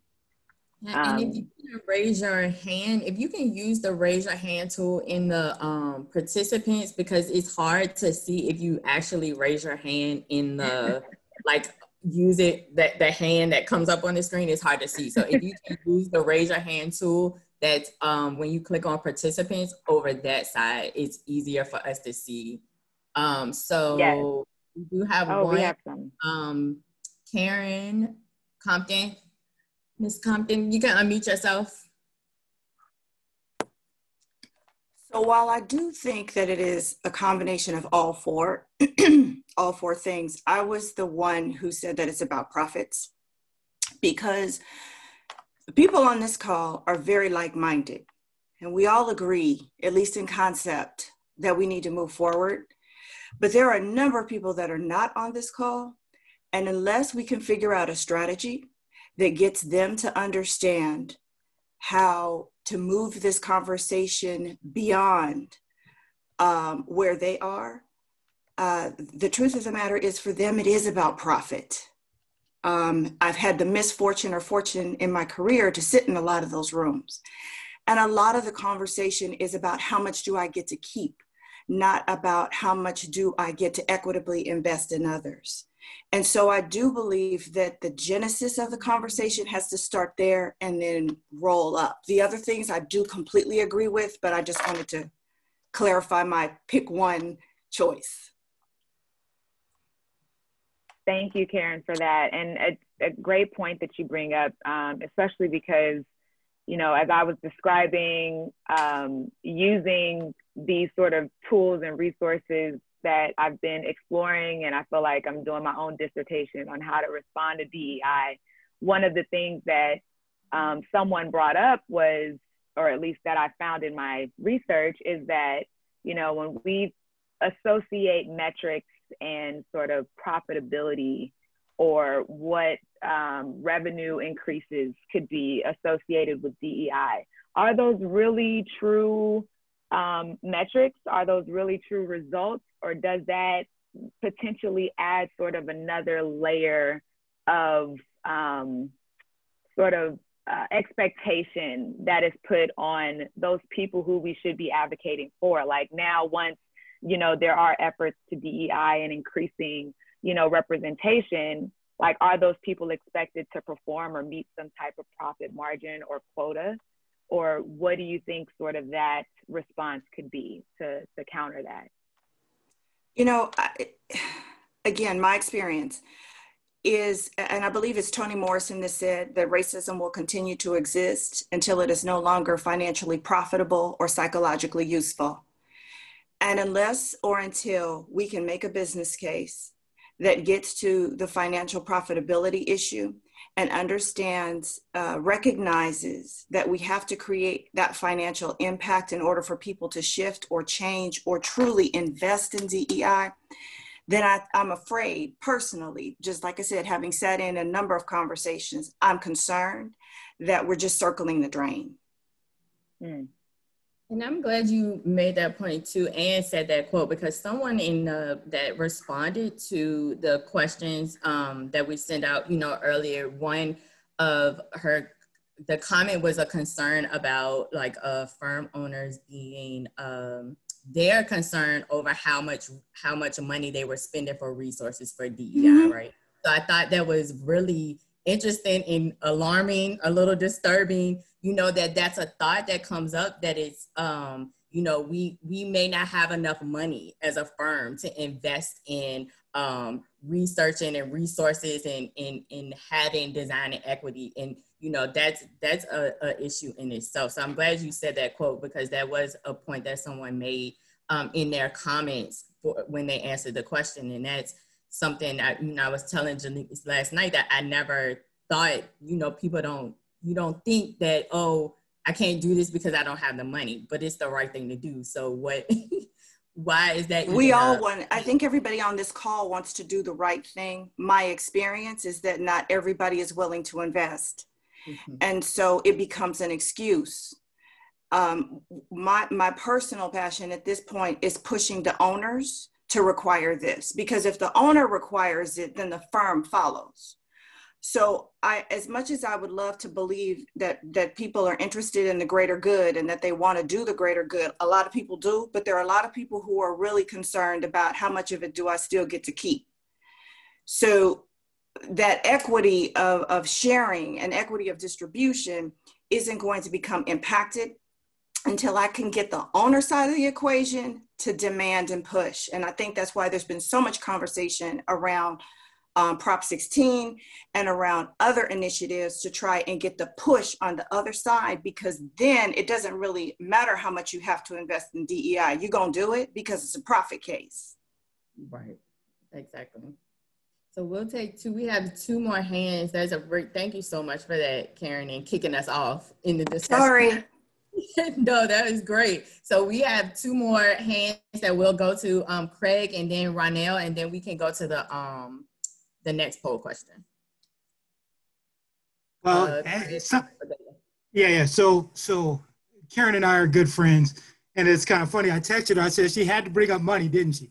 Um, so, what I want to say is, in, in all this, I think in the end, just because I'm black, that doesn't mean I don't have to run a profitable practice. And so, I think people have to understand that what we're talking about, right? And, and, and what we're saying here, and what she's saying is, is that I'm, I'm blessed to be working for, I've got a president and CEO that are really passionate about this issue. But I'm still, the other call I'm going to have is, what is it going to cost us? What are your recommendations? What are we going to do? And to find the right place to create the most impact. And I, Janice, for sure am, and I think you know me from the stuff that we do with NOMA, to me, it's about having our people as well as our money invested in this, in this, um, having as well as our people invested in this. So, so at the end of the day, at the end of the day, we're still practices that have to make money. So that is that is true, and we have to find the balance between doing what's right, right, and doing and and and creating uh, diversity and inclusion. For me, my practice has always been run that way because I see value in it. I see value in creating better design. I see value in creating a better workplace. I see value. And even the CEO of our company sat with my team one day and said, Wow, I'm just amazed at the diversity of your team. And yeah, because as an individual, it's important to me.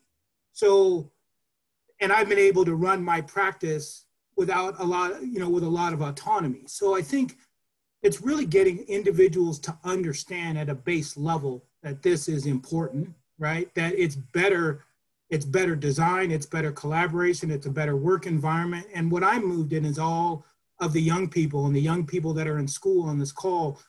Um, and I think I've said this before 30 years later, the, the things that I ran into as a young black man on a campus with less than 1% black, who, by the way, Cal Poly San Luis Obispo still is less than 1% black. Um, they're running into the same issues, and that's what we have to stop, right? I had a professor that told me I wasn't even in his class told me I'd never make it in architecture. He said, I, "You won't make it. You're you're not good enough." But he didn't even know me, right? So what was the basis? I don't know the basis of his as of his of his talk, but but but here I sit. So at the end of the day, we have to find a way to support each other to make this important and to also make it a good business case. And I think there are there are good business cases for it.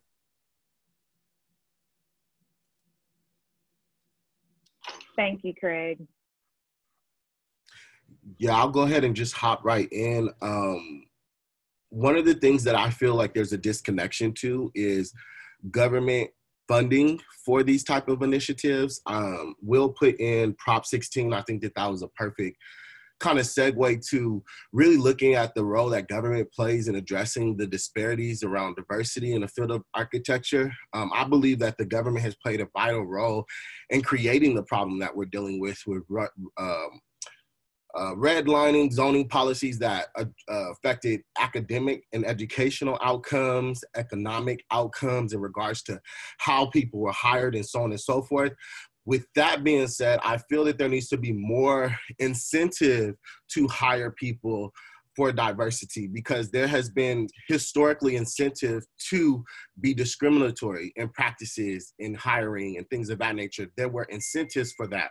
Um, also, we have to look at incentives and entitlements that have been facilitated by the government for white folks, right? To get them the houses that they have, to get them the suburban neighborhoods that they have, and things of that nature. So I think we have to take a critical look at the way that government has supported different um, economic, academic, uh, aspects of the circumstance and issue that we're dealing with and really f- find ways to uh, look at entitlements and incentives for architecture firms, developers, and so on and so forth, um, and get the government to have a vested interest in addressing the problem that they created through a lot of policy. And, and one of the things that I want to speak on is the amount of investment it took to create this problem. There was millions and billions of dollars flooded into industry, into policy, into lobbying to make a disadvantage for uh, people of color, for for people trying to pursue education.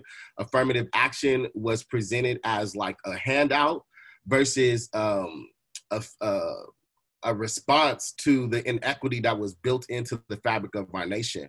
And I think oftentimes when we look at ways to help people impacted by the flaws of our community, we introduce it in a way that reflects badly on the impacted people versus really call out the discriminate discriminate discrimination um, in and uh, deliberate disenfranchisement that was facilitated upon them that creates the circumstance in which they do have to access programs like affirmative action and or uh, lean on diversity equity inclusion focuses to uh, acquire their dream of success or attainment of career goals that should be accessible to everyone, no matter what their race are, no matter where they live. But there's fabric built into our country that has facilitated these negative outcomes, and we have to do more investment in addressing that.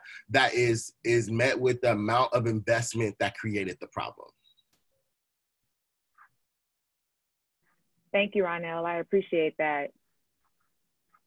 Okay, I wanted to um, sort of segue because I, I, had a feeling this would happen, which is great. Uh, but Corrine, if it isn't too much trouble, I would like to go ahead and skip down to our question three to launch the poll. Would that be okay?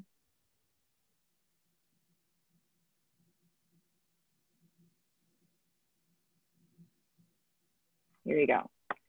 All right who should hold the farm leaders accountable for DEI efforts? And there very well may be a, you know, an answer that is not on here. So we are still encouraging everyone to expound upon their response. Uh, but, you know, we often talk about this word accountability that gets thrown around a lot when we think about DEI efforts. But, you know, if everything starts with the top and the leaders and the CEOs, who is ultimately holding them accountable?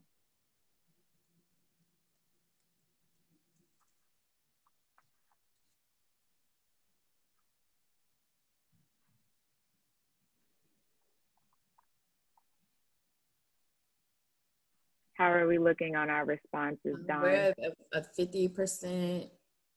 So we'll at a minute. So we'll give you guys about thirty seconds. Okay. We encourage everyone to to answer the question. We're at 104 yes. people, so 15 seconds. Thank this is a tight race. I know. Vote, people. Come on. Five seconds. Three, two, one. Let's see. All right. Oh, there you go. Interesting. Employees, hmm, clients, AIA, NOMA. oh, relieving our NOMA pressure a little bit.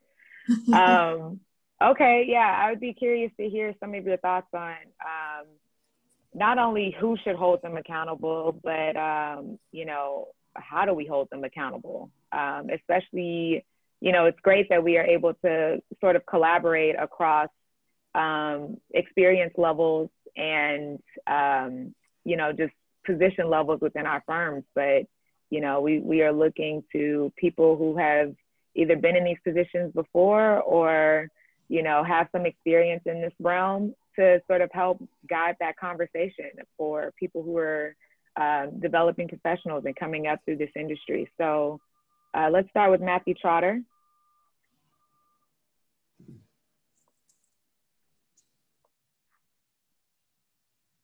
Um, Matthew, your sound um, can you hear me now? Yeah.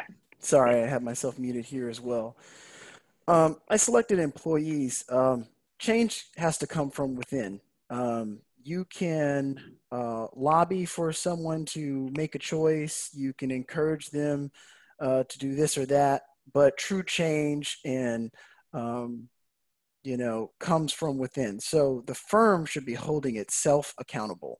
Um, and you know as architects, we should be um, educating our clients. It's similar to sustainability. You know, you're, you know, at the end of the day, the client is going to uh, make a decision on the uh, the range or the limit of sustainable efforts that are going to be put into the project because they're putting forth the money.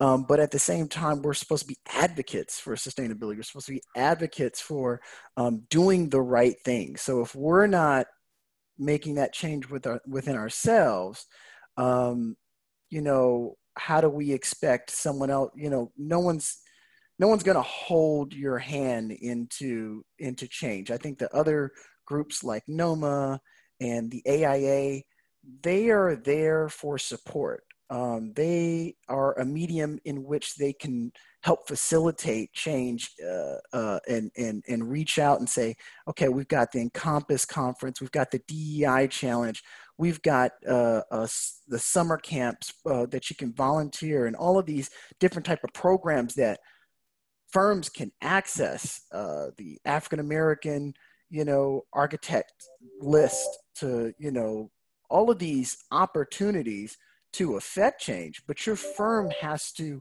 hold itself accountable for what what of those kind of opportunities they're going to participate in. And then part of the second question is how how do you hold your firm accountable? It's recognizing that there's an issue. And I think that the employees the employees can't is, is are going to have a difficult time in holding the firm accountable if at the top of the firm or at the leadership level there isn't a, there isn't a recognition of an issue.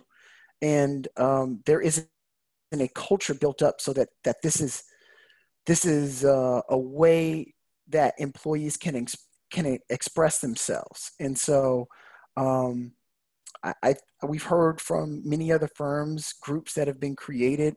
Um, uh, groups have been created at Perkins and Will, um, at Cunningham Group. I created a NOMA CGA committee, and we have we've pulled together all of our NOMA members from all of our offices across America, and we meet once a month, and we have become advisors to our board and to leadership. It's created a platform for D1s, D2s. These are these are people who are not necessarily principals, but now they have now there's a platform created within the firm where they have the ability to advise the president of the company. They have the ability to reach out and talk to um, the people who are, are making the decisions. And I believe that that's really important to ingrain that in the culture. So the leadership, you've got to go, I'm going to allow someone else to hold me accountable. You've got to make that choice. And it's a it's a difficult one, but it's one that has to happen if you really want to move forward in the right direction. You're going to hear the hard stuff. Um, and it actually becomes quite fun and exciting to be able to to move forward in a way where you're increasing value because all of, back to the first poll question all of those things that you had written down janice and Dawn create the profit margin i think we'll place that in the chat as well all of these things lead to greater value in your work which means greater opportunities so Great point, Matthew. Thank you. And when we do have a few hands raised, um, and we're not going to get to everybody, but we would encourage folks to write things in the chat because we're going to save the chat. The question is how um, do do we hold firm owners accountable um, to do these things? So please feel free to to write responses in the chat as well because this will also be saved. Um, Ziba. Let me unmute myself. Um, hi, Ziba Gissemi with URW. Uh, I actually uh, picked client. And I do agree with everything that Matthew said that, you know, we are all personally accountable and we, you know, have to do our own part. But at the same time, I feel that, especially because I come from a client side, and uh, for the 16 years that I've been with URW, uh, I've seen the benefits and I've seen the value of working with diverse group.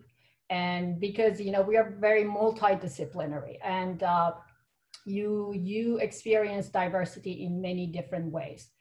Uh, and we see the value of that, the value of in, in terms of like creativity, uh, you know, how like approaching project is it's it's quite different. So um, I pick client because I think that's where the buck stops. And I've been probably fortunate that URW have uh, measures and uh, and metrics already, you know, in place and resources that we are actually really do pay attention to who we are working with. And that is going to be more and more uh, part of the system as we are going forward. So I feel that there should be more advocacy, there should be more awareness, and there should be more, uh, more laws and regulation gone into holding clients accountable to make sure that who they are working with, it's, it's going to be a diverse team, that there are requirements with that. Because then, you know, you, you may have individuals that are in a position that they, they are they may be in a position that they can really actually stand up and say this is wrong so you can't really expect that everybody can just stop this and they're gonna uh, you know, take an action and they're to hold their firms accountable. So I think at that very top level, there should be accountability, number one accountability. So that's, that's what I think. Thank you, Ziba. Um, Karen, Karen Compton. So the average architectural practice has less than 50 employees. I know there are large firms that are represented on this call, um, but the average firm has less than 50 employees and it does not typically have a human resources manager. I think it's worth noting that um, I, I feel that the AIA needs to do more because in a smaller firm, whether you have 50 employees, 25 employees or less, less much to Matthew's uh, point a little bit earlier, um, it's very, very difficult for um, uh, individuals in smaller firms, mid-sized firms, uh, to be able to seek any kind of adjudication around justice, equity, diversity, and inclusion issues within their own organizations unless the unless the top of the organization sees that there's an issue and that they want to change. As a sidebar, I actually advise one of the oldest architectural practices, uh, about 85% white, um, in a southern state. And they, uh, even though their their emerging leadership sees this as an issue, the top is not willing to concede, and so it is it is almost impossible to make any kind of long term change in that particular firm uh, without support or pressure from outside. Now, that pressure can come from the client side, as Ziba just indicated, or it can come from AIA looking at their ethics and saying, hey, what do we really need to do in our ethics standards to hold firms more accountable for being part of this membership? Excellent point. Um, Dawn, go ahead. Sorry, I saw you getting ready to. oh, okay. Um, we wanted to take one more right now before we jump to our next question. So, Alec Zarithian, hope I said your name correctly. Would you like to unmute yourself?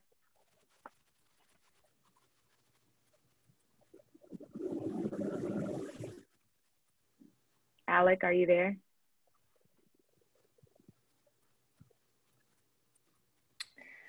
It doesn't look like his okay. audio is connected. Oh, maybe not. Okay. Yeah. Um, so Craig, I, I know you had your hand raised, but did you still want to make your, your point before we jump to the next question? Uh, no, I, I kind of put it in the chat, but I, I, okay. I kind of I kind of agreed with Matthew, but for a different reason. Let's hear it. well, um, our task force right now oh, just broke one pair of reading glasses.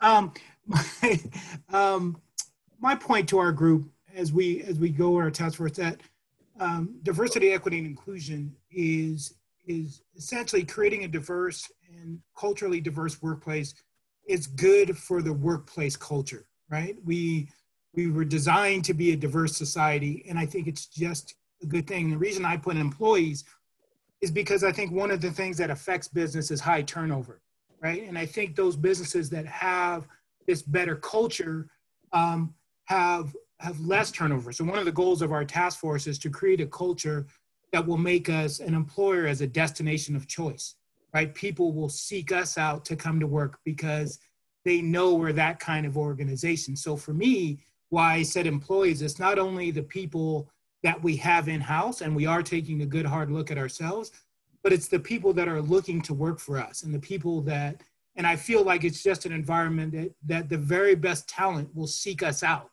and make us better, right? So there's the business case of just attracting the very best talent and people wanting to come work for you and why wouldn't you want to do what's right? And so for me it's it's similar i think to what matthew said but it takes a different spin on why i, I checked employees. Absolutely. Thank you for that craig. Um, and we wanted to go ahead and launch our next poll question. Um, Kareem, could you launch poll question number four please? Um, so, sorry this is alec. Uh, i i just managed to make my audio work Oh, okay. But maybe I'll talk later.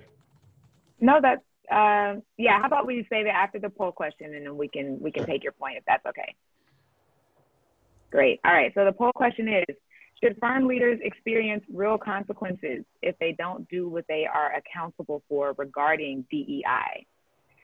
So, sort of the background behind this question is when we think about us in our roles, right? We are all held to some level of accountability within our job titles, our job descriptions. We're expected to perform in some form or fashion to meet the expectations um, when we have our own reviews.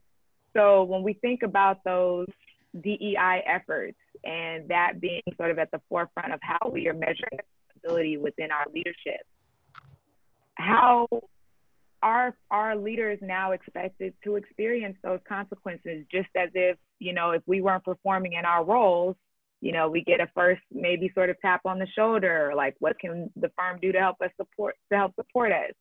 Or you know after we get that tap on the shoulder then maybe we get some extra training to help secure that. But when you get to that next level then sort of okay, if we're holding them accountable and they're not measuring up, then should they be experiencing some consequences, whatever they may be? So we wanted to see what your take on that was from our from our audience here. So we're at 50, 60%. So we'll just give it a few more seconds since we started this one early. 10 seconds. Five seconds. Two, one. All right. Yes. All right. And we have some in the middle folks. Hmm.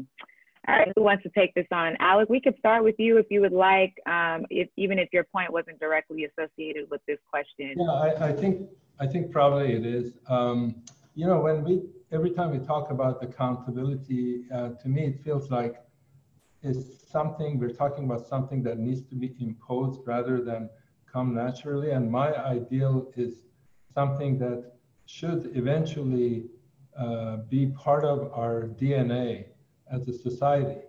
Uh, and the reason I'm saying that is because I think I think this has to do with everything that was talked about in this last two days, uh, because it's an issue about uh, education, where um, uh, the, the society needs to be educated to the point that everyone understands the bigger value of uh, why there should be diversity. And and we have to reach the point that everyone understands that the true beneficiary is the society itself, not a firm or or someone that has to um, there has to be a monetary reason for that. That I think to me when there is we is connected to a, a benefit that uh, is connected to money makes it uh, somewhat temporary to me because once that issue is taken out, that money uh, and benefit, uh, monetary benefits disappears, there will go the, the need for it. And I think it has to maybe take a generation or two, as we know, uh, to get to a point that it becomes part of the way we think and part of the way we value our lives. Thank you, Alex, for your response. Uh, let's see, we have Joshua Foster. Thank you. Um, I'm I'm one of the people that put in the middle, um, and I'm I'm kind of on both sides with it in the sense where I definitely think that uh, firms and executives need to be held accountable for not for, for not deciding to take take part in what's what's needed to be done. But on on a certain extent, I think yes, it is important whether it comes from the government end of things for incentives and policies. Some things that um, I see ryan Ronell was putting in on the chat is very important. Um, but it comes to the other side of as an employee, would you really want to work for someone that only decides to do these things just because they got a slap on, on the hand? And me personally, I I frankly wouldn't. And and I think that we should as employees hold them accountable kind of going back to one of the first first questions where we need to figure out how we can have the agency to be able to say i'm not going to work for someone who doesn't truly believe that this is important and that in itself is a consequence where people start leaving their firm if people start not hiring them to be able to do things um, to be able to have have winning RFPs or to be able to have different things like that. If people see this firm come up and be like, oh, this is this is a firm that we we know does not care about diversity, equity, and inclusion, we're not going to work with them. And so I think the consequence should come from the employees in the sense where be vocal about it. Don't don't hide the fact that if you work at a company where you feel like they are purposely or deciding not to take in into account what needs to be done be vocal about it. Talk to talk to uh, other people that are in the industry. Talk to people that are looking to apply there. I mean, frankly, if if the company decides that they don't care enough to do it, then they also seem like they don't care if they're going to be attracting or keeping people that actually care about those values as well. And I know it's easier said than done, especially in the time we are with COVID, where it we should be grateful to have a job, but that that needs to end soon that we're just grateful to be working we need to make sure we're working in a place that actually looks looks like they're making an effort in, internally Josh, that's an excellent point. Thank you for bringing that up. Um, and especially, I want to uh, sort of emphasize that to the developing professionals or recent graduates because, you know, we may be feeling the fear of even how to hold the firm leaders accountable, how to bring things up when you're in meetings or, or on calls or make suggestions. And, you know, I think that really is a consequence. It's like if you ask yourself, is this a company I want to work for? I'm not really seeing the initiative on their part. Oh, but they're quick to say, you know, yeah, go ahead, Janice, start that DEI initiative or start that program. We'll support you. It's like, no, not only support me, don't stand behind me, but also help lead and stand in front of me and, and walk with me as we try to achieve this. So I think it's, it's really important to say that, you know, our talent does not, you know, go undervalued in that way. And we have to be very cognizant of what our worth is and our representation at these firms. And I think that is ultimately what a consequence could be like, or what it what it could represent coming from an employee that is holding a firm accountable. So thank you for bringing that up. Um, our next question or comment was from H. Felsberg. I see a hand raised.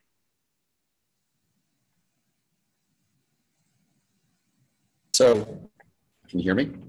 Yeah. Yes, I can. So, so um, we have a we have a 30 person firm, so it is considered mid-size. And I do believe the leadership should be held accountable. I'm a co-leader, a co-owner, and um, we do have a JEDI committee. But if, like you said earlier, Denise, if um, if an employee is subject to a positive and negative response, uh, what should the, the leadership? And how else are we going to be setting examples? And how else are we going to be moving anything forward? So in our office, we fully, or I fully take responsibility. But, the, but what's interesting, and I say this humbly, is that the committee is, is accepting mistakes. We make mistakes along the way, but we're learning from them. And we also accept that this is not a, as said earlier, a um, something that we're doing just to um, take care of it at this time. We're, we're in it for the long run. So we also accept that we're going to be making mistakes and learning for the long run. And in that regard, it's, it makes it more uh, acceptable to take responsibility in the leadership role. And that allows us to actually um, be taught and taught the same kind of example throughout makes it a much better community. So I agree, leaders do have to take responsibility. Great, thank you for that. And I also, um, Ronell put something in the comments that I wanted to comment on because as a working as a developer is really um, opened my eyes to a lot of things, right? It's a little different from working in an architecture firm, but he put in about the government also holding um, these like holding firms accountable. I know one thing, you know, we get incentives for affordable housing um, if we do an 100% affordable housing project. So how how can we do those same things with architecture firm? You get in, incentives from them doing projects um, in certain neighborhoods, but again, that goes back to who is monitoring these things and um, it, it can become tricky, but how do we make it so it's meaningful, right? Um, so I did want to just kind of point that out. That was a little different from what um, other folks were kind of mentioning with employees and AIA. Um, so that was one comment that was that was in the in the chat section about also looking to the the government in in lo- other localities where these developments and projects are happening.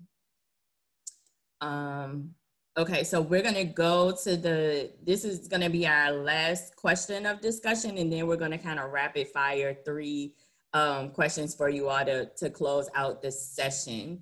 So um, if you can do number six.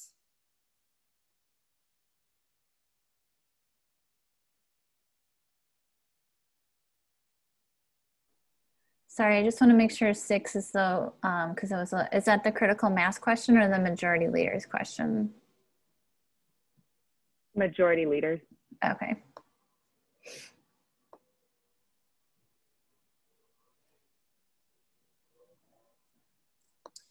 Um, okay, so this question is about how do we make this matter to majority leaders? So we kind of touched on this a little bit, but wanted to go into, into further details about, um, you know, to whom this may not directly reflect or impact their everyday experiences. So provide a strong business case, provide a strong design case, humanize this conversation, all of the above or none of the above.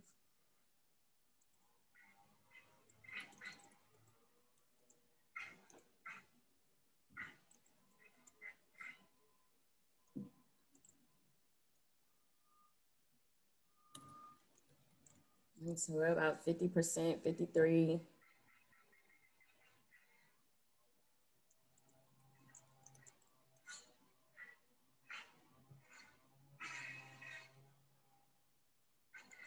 Eight, we'll just give maybe about 20 more seconds.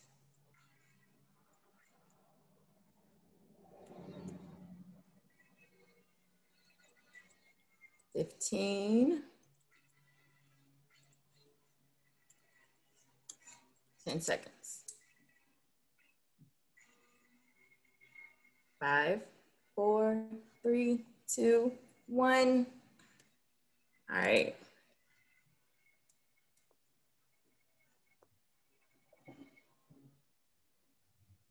Okay, these are, yeah, this is great. Um, so it looks like majority of the people said all of the above. Um, and you know, it, it's it's kind of good to see it uh, sort of in this format because I think the thing that we have to sort of take away from this conversation is realizing that there is not one approach to this. You know, there's not one lane to figure out how to approach your leadership or how to to affect real change. Um, so for some, what what may work for some firms may work work differently for other firms, or may not work for other firms. So um, I'd be curious to hear a little bit about maybe what some of your personal experiences may be for either how you've approached uh, the leadership or if you're in a leadership position, how you've approached it to the rest of your teams, um, whether it's the business case, the design case, or just you know humanizing the conversation around it and and really uh, making people feel um, vulnerable and like we can all be on a level playing field with that. Um, so Karen, did you want to uh, elaborate on that? I saw your hand raised. It may have been for the last question, so our apologies. Um, actually, I, I wanted just a thought. Um, I do think that there is an opportunity here to explore intersectionality. Um, the intersection between uh, people of color and other disparate groups, including women, um, and bring the entire conversation along as a journey and an exploration of equity for everyone. That's what that's my um, interpretation of humanization. I think if we continue, uh, in order for this to be really effective, I really think we're going to have to intersect with other groups and bring other people along in this struggle. Um, so that there are more people that kind of raise and lift the conversation and place more, I don't want to say stress, but certainly more impact on the top of the equation that really do not want to change. Thank you. Um, do we have anyone else who would like to respond to that? Or add a comment?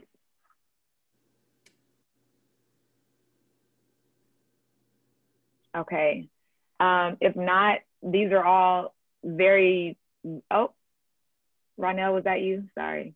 Yeah, I, it was. okay, I see it. Um, okay. I'll go ahead and go hop in there. This is kind of a shameless plug, so forgive me. Um, I have an organization, Growing Greatness, and we do diversity, equity, and inclusion trainings specifically to address implicit bias in organizations. Um, I believe that this is something that definitely needs to be done to create common grounding around like lived experiences of communities but also lived experience of staff. I think a lot of times we are talking about how to impact impacted communities before we address impacted staff and empower impacted staff. Um, and really take an inner internal look in these small to mid-sized organizations around how does this reflect in the way that the organization does business? How does the organization's values of equity and inclusion reflect in their staffing, in their promotion opportunity, in their board um, uh, what their board looks like, you know, their management and things of that nature. There's a critical analysis that needs to be done, but there's a facilitated training that needs to happen so that common grounding, that common understanding can be established. Growing Greatness facilitates those trainings. I think it definitely needs to be an outside person. A lot of times, if you're trying to do it internally, you don't have the capacity. A lot of times, these design firms are experts at design, right? But not really experts at implicit bias or the connections to how policy historically has uh, created a lot of these outcomes that they're currently facilitating. So I think the training component, diversity, equity, inclusion component for that common grounding and understanding, and then the material change component to make sure that the policies, the values, and the practices of the organization reflects diversity, equity, and inclusion. Because a lot of times these conversations get stuck in conversation and are not applied to the practices, policies, and um, values that are represented. It's like, oh, we addressed it in that that conversation we had last last year. Isn't everything okay now? It's like no, because you just had me train the person that you hired, and I wanted that job. You know what I mean? So it's like there's these real lived experiences that do not reflect authenticity and the values that a lot of these companies say they have.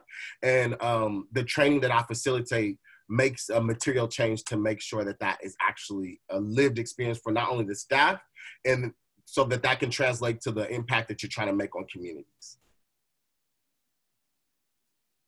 Thank you for sharing that. Let's take one more from Matthew Trotter and then um, we'll get ready to launch the last three rapid fire questions um, to get your responses before we close out today's session.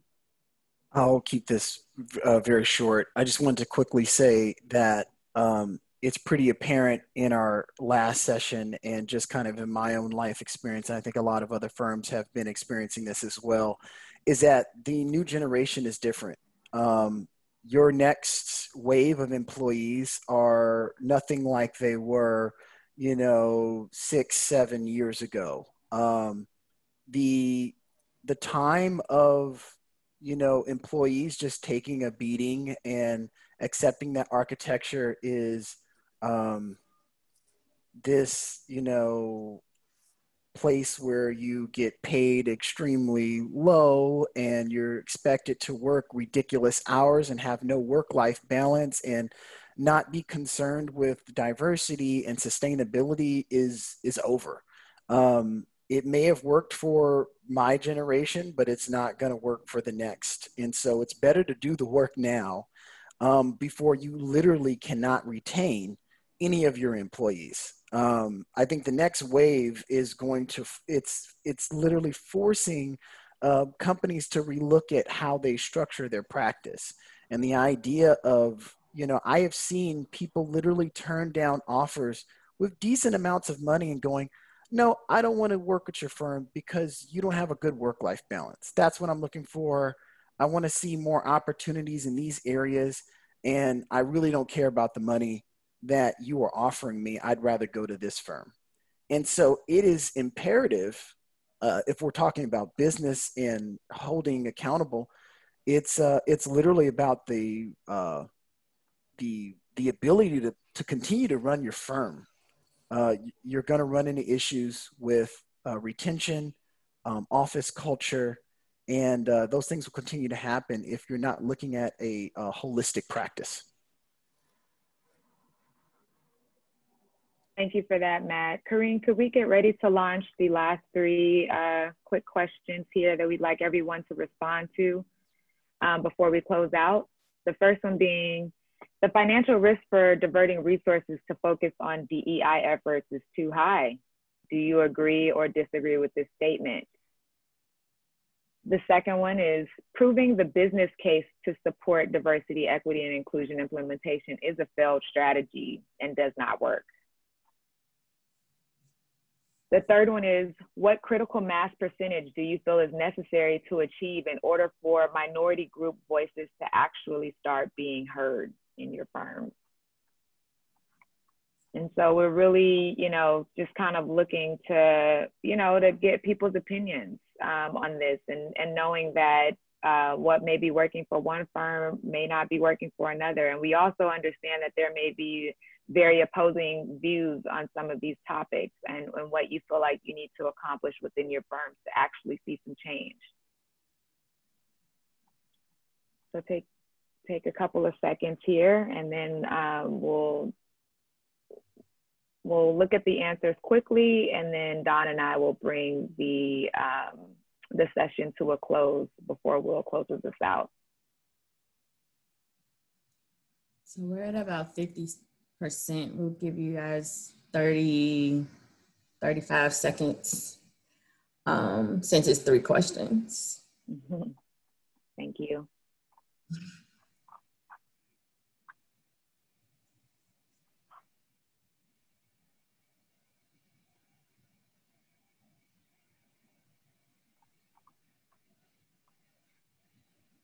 And thank you everyone for uh, your transparency and participation too. We appreciate it.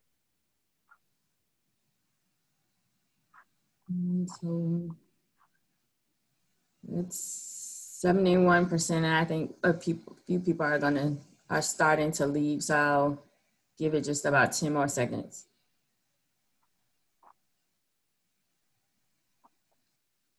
Five seconds, four, three, two, one. All right.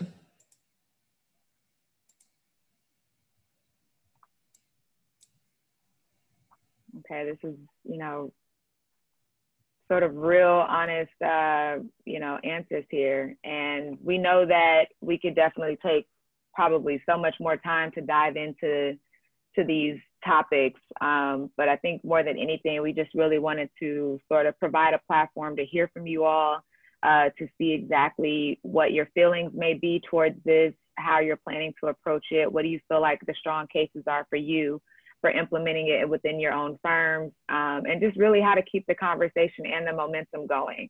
And so we know that we can have many more panels, we can invite experts on diversity, we can do trainings and um, all the above to sort of really try to continue to guide the conversations around this. But we really want to challenge um, the firm leaders and to, to think about you know having those conversations with your teams and making sure that you're really understanding the impact of those conversations you know going back to that fear element you know just what, understanding that we're all people. You know we're really having to open the the conversation and meeting people at those conversations. So we want to make sure that you all feel supported that we support one another across the industry and that we you know continue to be as transparent and as vulnerable as we can to, to really see this through so Dawn if you'd like to leave any closing words i think that's all i have to say at this point I think you wrapped it up very well. This was um, hopefully for you all, just like Jenny said, this is a hopefully this is a good session for you know to wrap up all three panel discussions that were awesome. Um, and so we just wanted you all to have a little discussion and little interaction. So hopefully uh, you have some things to take back from from all of this, this entire conference. So thank you all. Yes, thank you for your participation.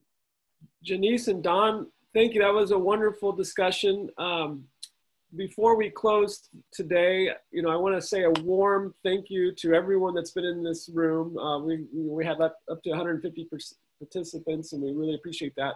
We're also grateful for our sponsors. Um, but I would also like to take this moment to uh, recognize the JEDI committee and the, uh, you know, Joshua, Leslie, Janelle, and Ziba. If you could say a few words, we're encouraging everyone on this call to get involved with that. I put the link into the chat. Um, email me. I'll send you my email as well, will at aialosangeles.org. We really look forward to your involvement. And uh, Josh and Leslie and Janelle and um, would you like to say a few words as we close the session? Uh, yeah, I can do a, a, quick plug for us really quickly. Um, so the JEDI committee um, was just just recently started. It's a joint AIA and SoCal NOMA committee, um, and our our purpose is to advance issues of justice, equity, diversity, and inclusion. And so, um, the way we find ourselves most productive is as we listen and understand um, these deeper issues through these town halls, through these different um, panels and things that we're having, so that we can hear from the body what, what it is that, that we need to make our change changes um, with. Um, and then also from that, we develop programs and initiative to influence um, these mission congruent decisions. Um, and so through, through that, we, we really want to make sure that we're measuring and reporting accountability tools, much like the SoCal NOMA DEI Challenge, um, and partnering with different organizations that already have in place um, town halls and panels and different things like that. Um, so um, this is a committee that we want as many people as possible to be a part of. Um, before the end of this month, we'll, we'll be having our first official general body committee meeting where we, we, we start having a, a, a chance to be able to hear hear voices directly based on some of the initiatives that our committee has already um, decided we're going to put in place, but we, we really want to make this a collaborative effort um, because as a lot of people were saying throughout this this panel, throughout the encompass, um, is that change definitely needs to happen. Um, but now is the point where we have to stop talking about it and we actually have to do it. Um, so like Will said, please shoot him over an email if you're interested and he'll put you in contact with us here. Um, and yeah, thank you very much. This, this is definitely a great panel and Janelle, Ziba, Leslie, uh, additional co-chairs and vice co-chairs. If you guys want to say anything, please do. I just want to say that uh, this couple of days just been really amazing hearing so many thoughts and so many ideas that it's really going to help our team actually to uh, move this forward. So Joshua, I think summed it up really well. We're really looking forward to see more involvement and more of you guys collaborating with us on everything that we're going to be doing uh, and going forward. So thank you, thank you all. Thank you for participating. I would also add that um, I know that people are feeling overwhelmed because there are so many things to attack and there are so many things to work on. Um, JEDI is taking on as many as possible and allows you to take as big a bite or a smaller bite as you feel that you can in order to advance this cause. So please join us. And I would uh, want to echo Leslie's sentiment in the sense that um, I think the more people who get engaged with the conversation, the more um, internalized the value system becomes. And having people who come from different um, organizations or from different perspectives can be valuable to um, for people to really understand and internalize that this is not um, about pushing anyone out of a, a position. It's really about um, creating something valuable and getting to the best um, performance for any particular firm. So um, yeah, we're hoping that more people will get engaged and, in ways that are meaningful to you as well. So while we have, um, as the JEDI committee, the ways that, that we will primarily be engaged, there are other things that people can do to spread the, um, the values and um, in ways that, that are meaningful specific to, to you. So I'm, I'm saying students get engaged, leaders get engaged, people in the middle get engaged. Um, and uh, we look forward to really you know, making some impact that we can all see. Thank you so much. Karine, do you want to close us out with our big uh, applause? Okay, I'm going to unmute everybody. So for everybody to say thank you to all of our speakers, panelists, students today, um, please unmute yourself. Um, give everybody a warm round of applause. Thank you. Well done. Thank you. Thank you. Thank you, everyone. Thank you. Thank you.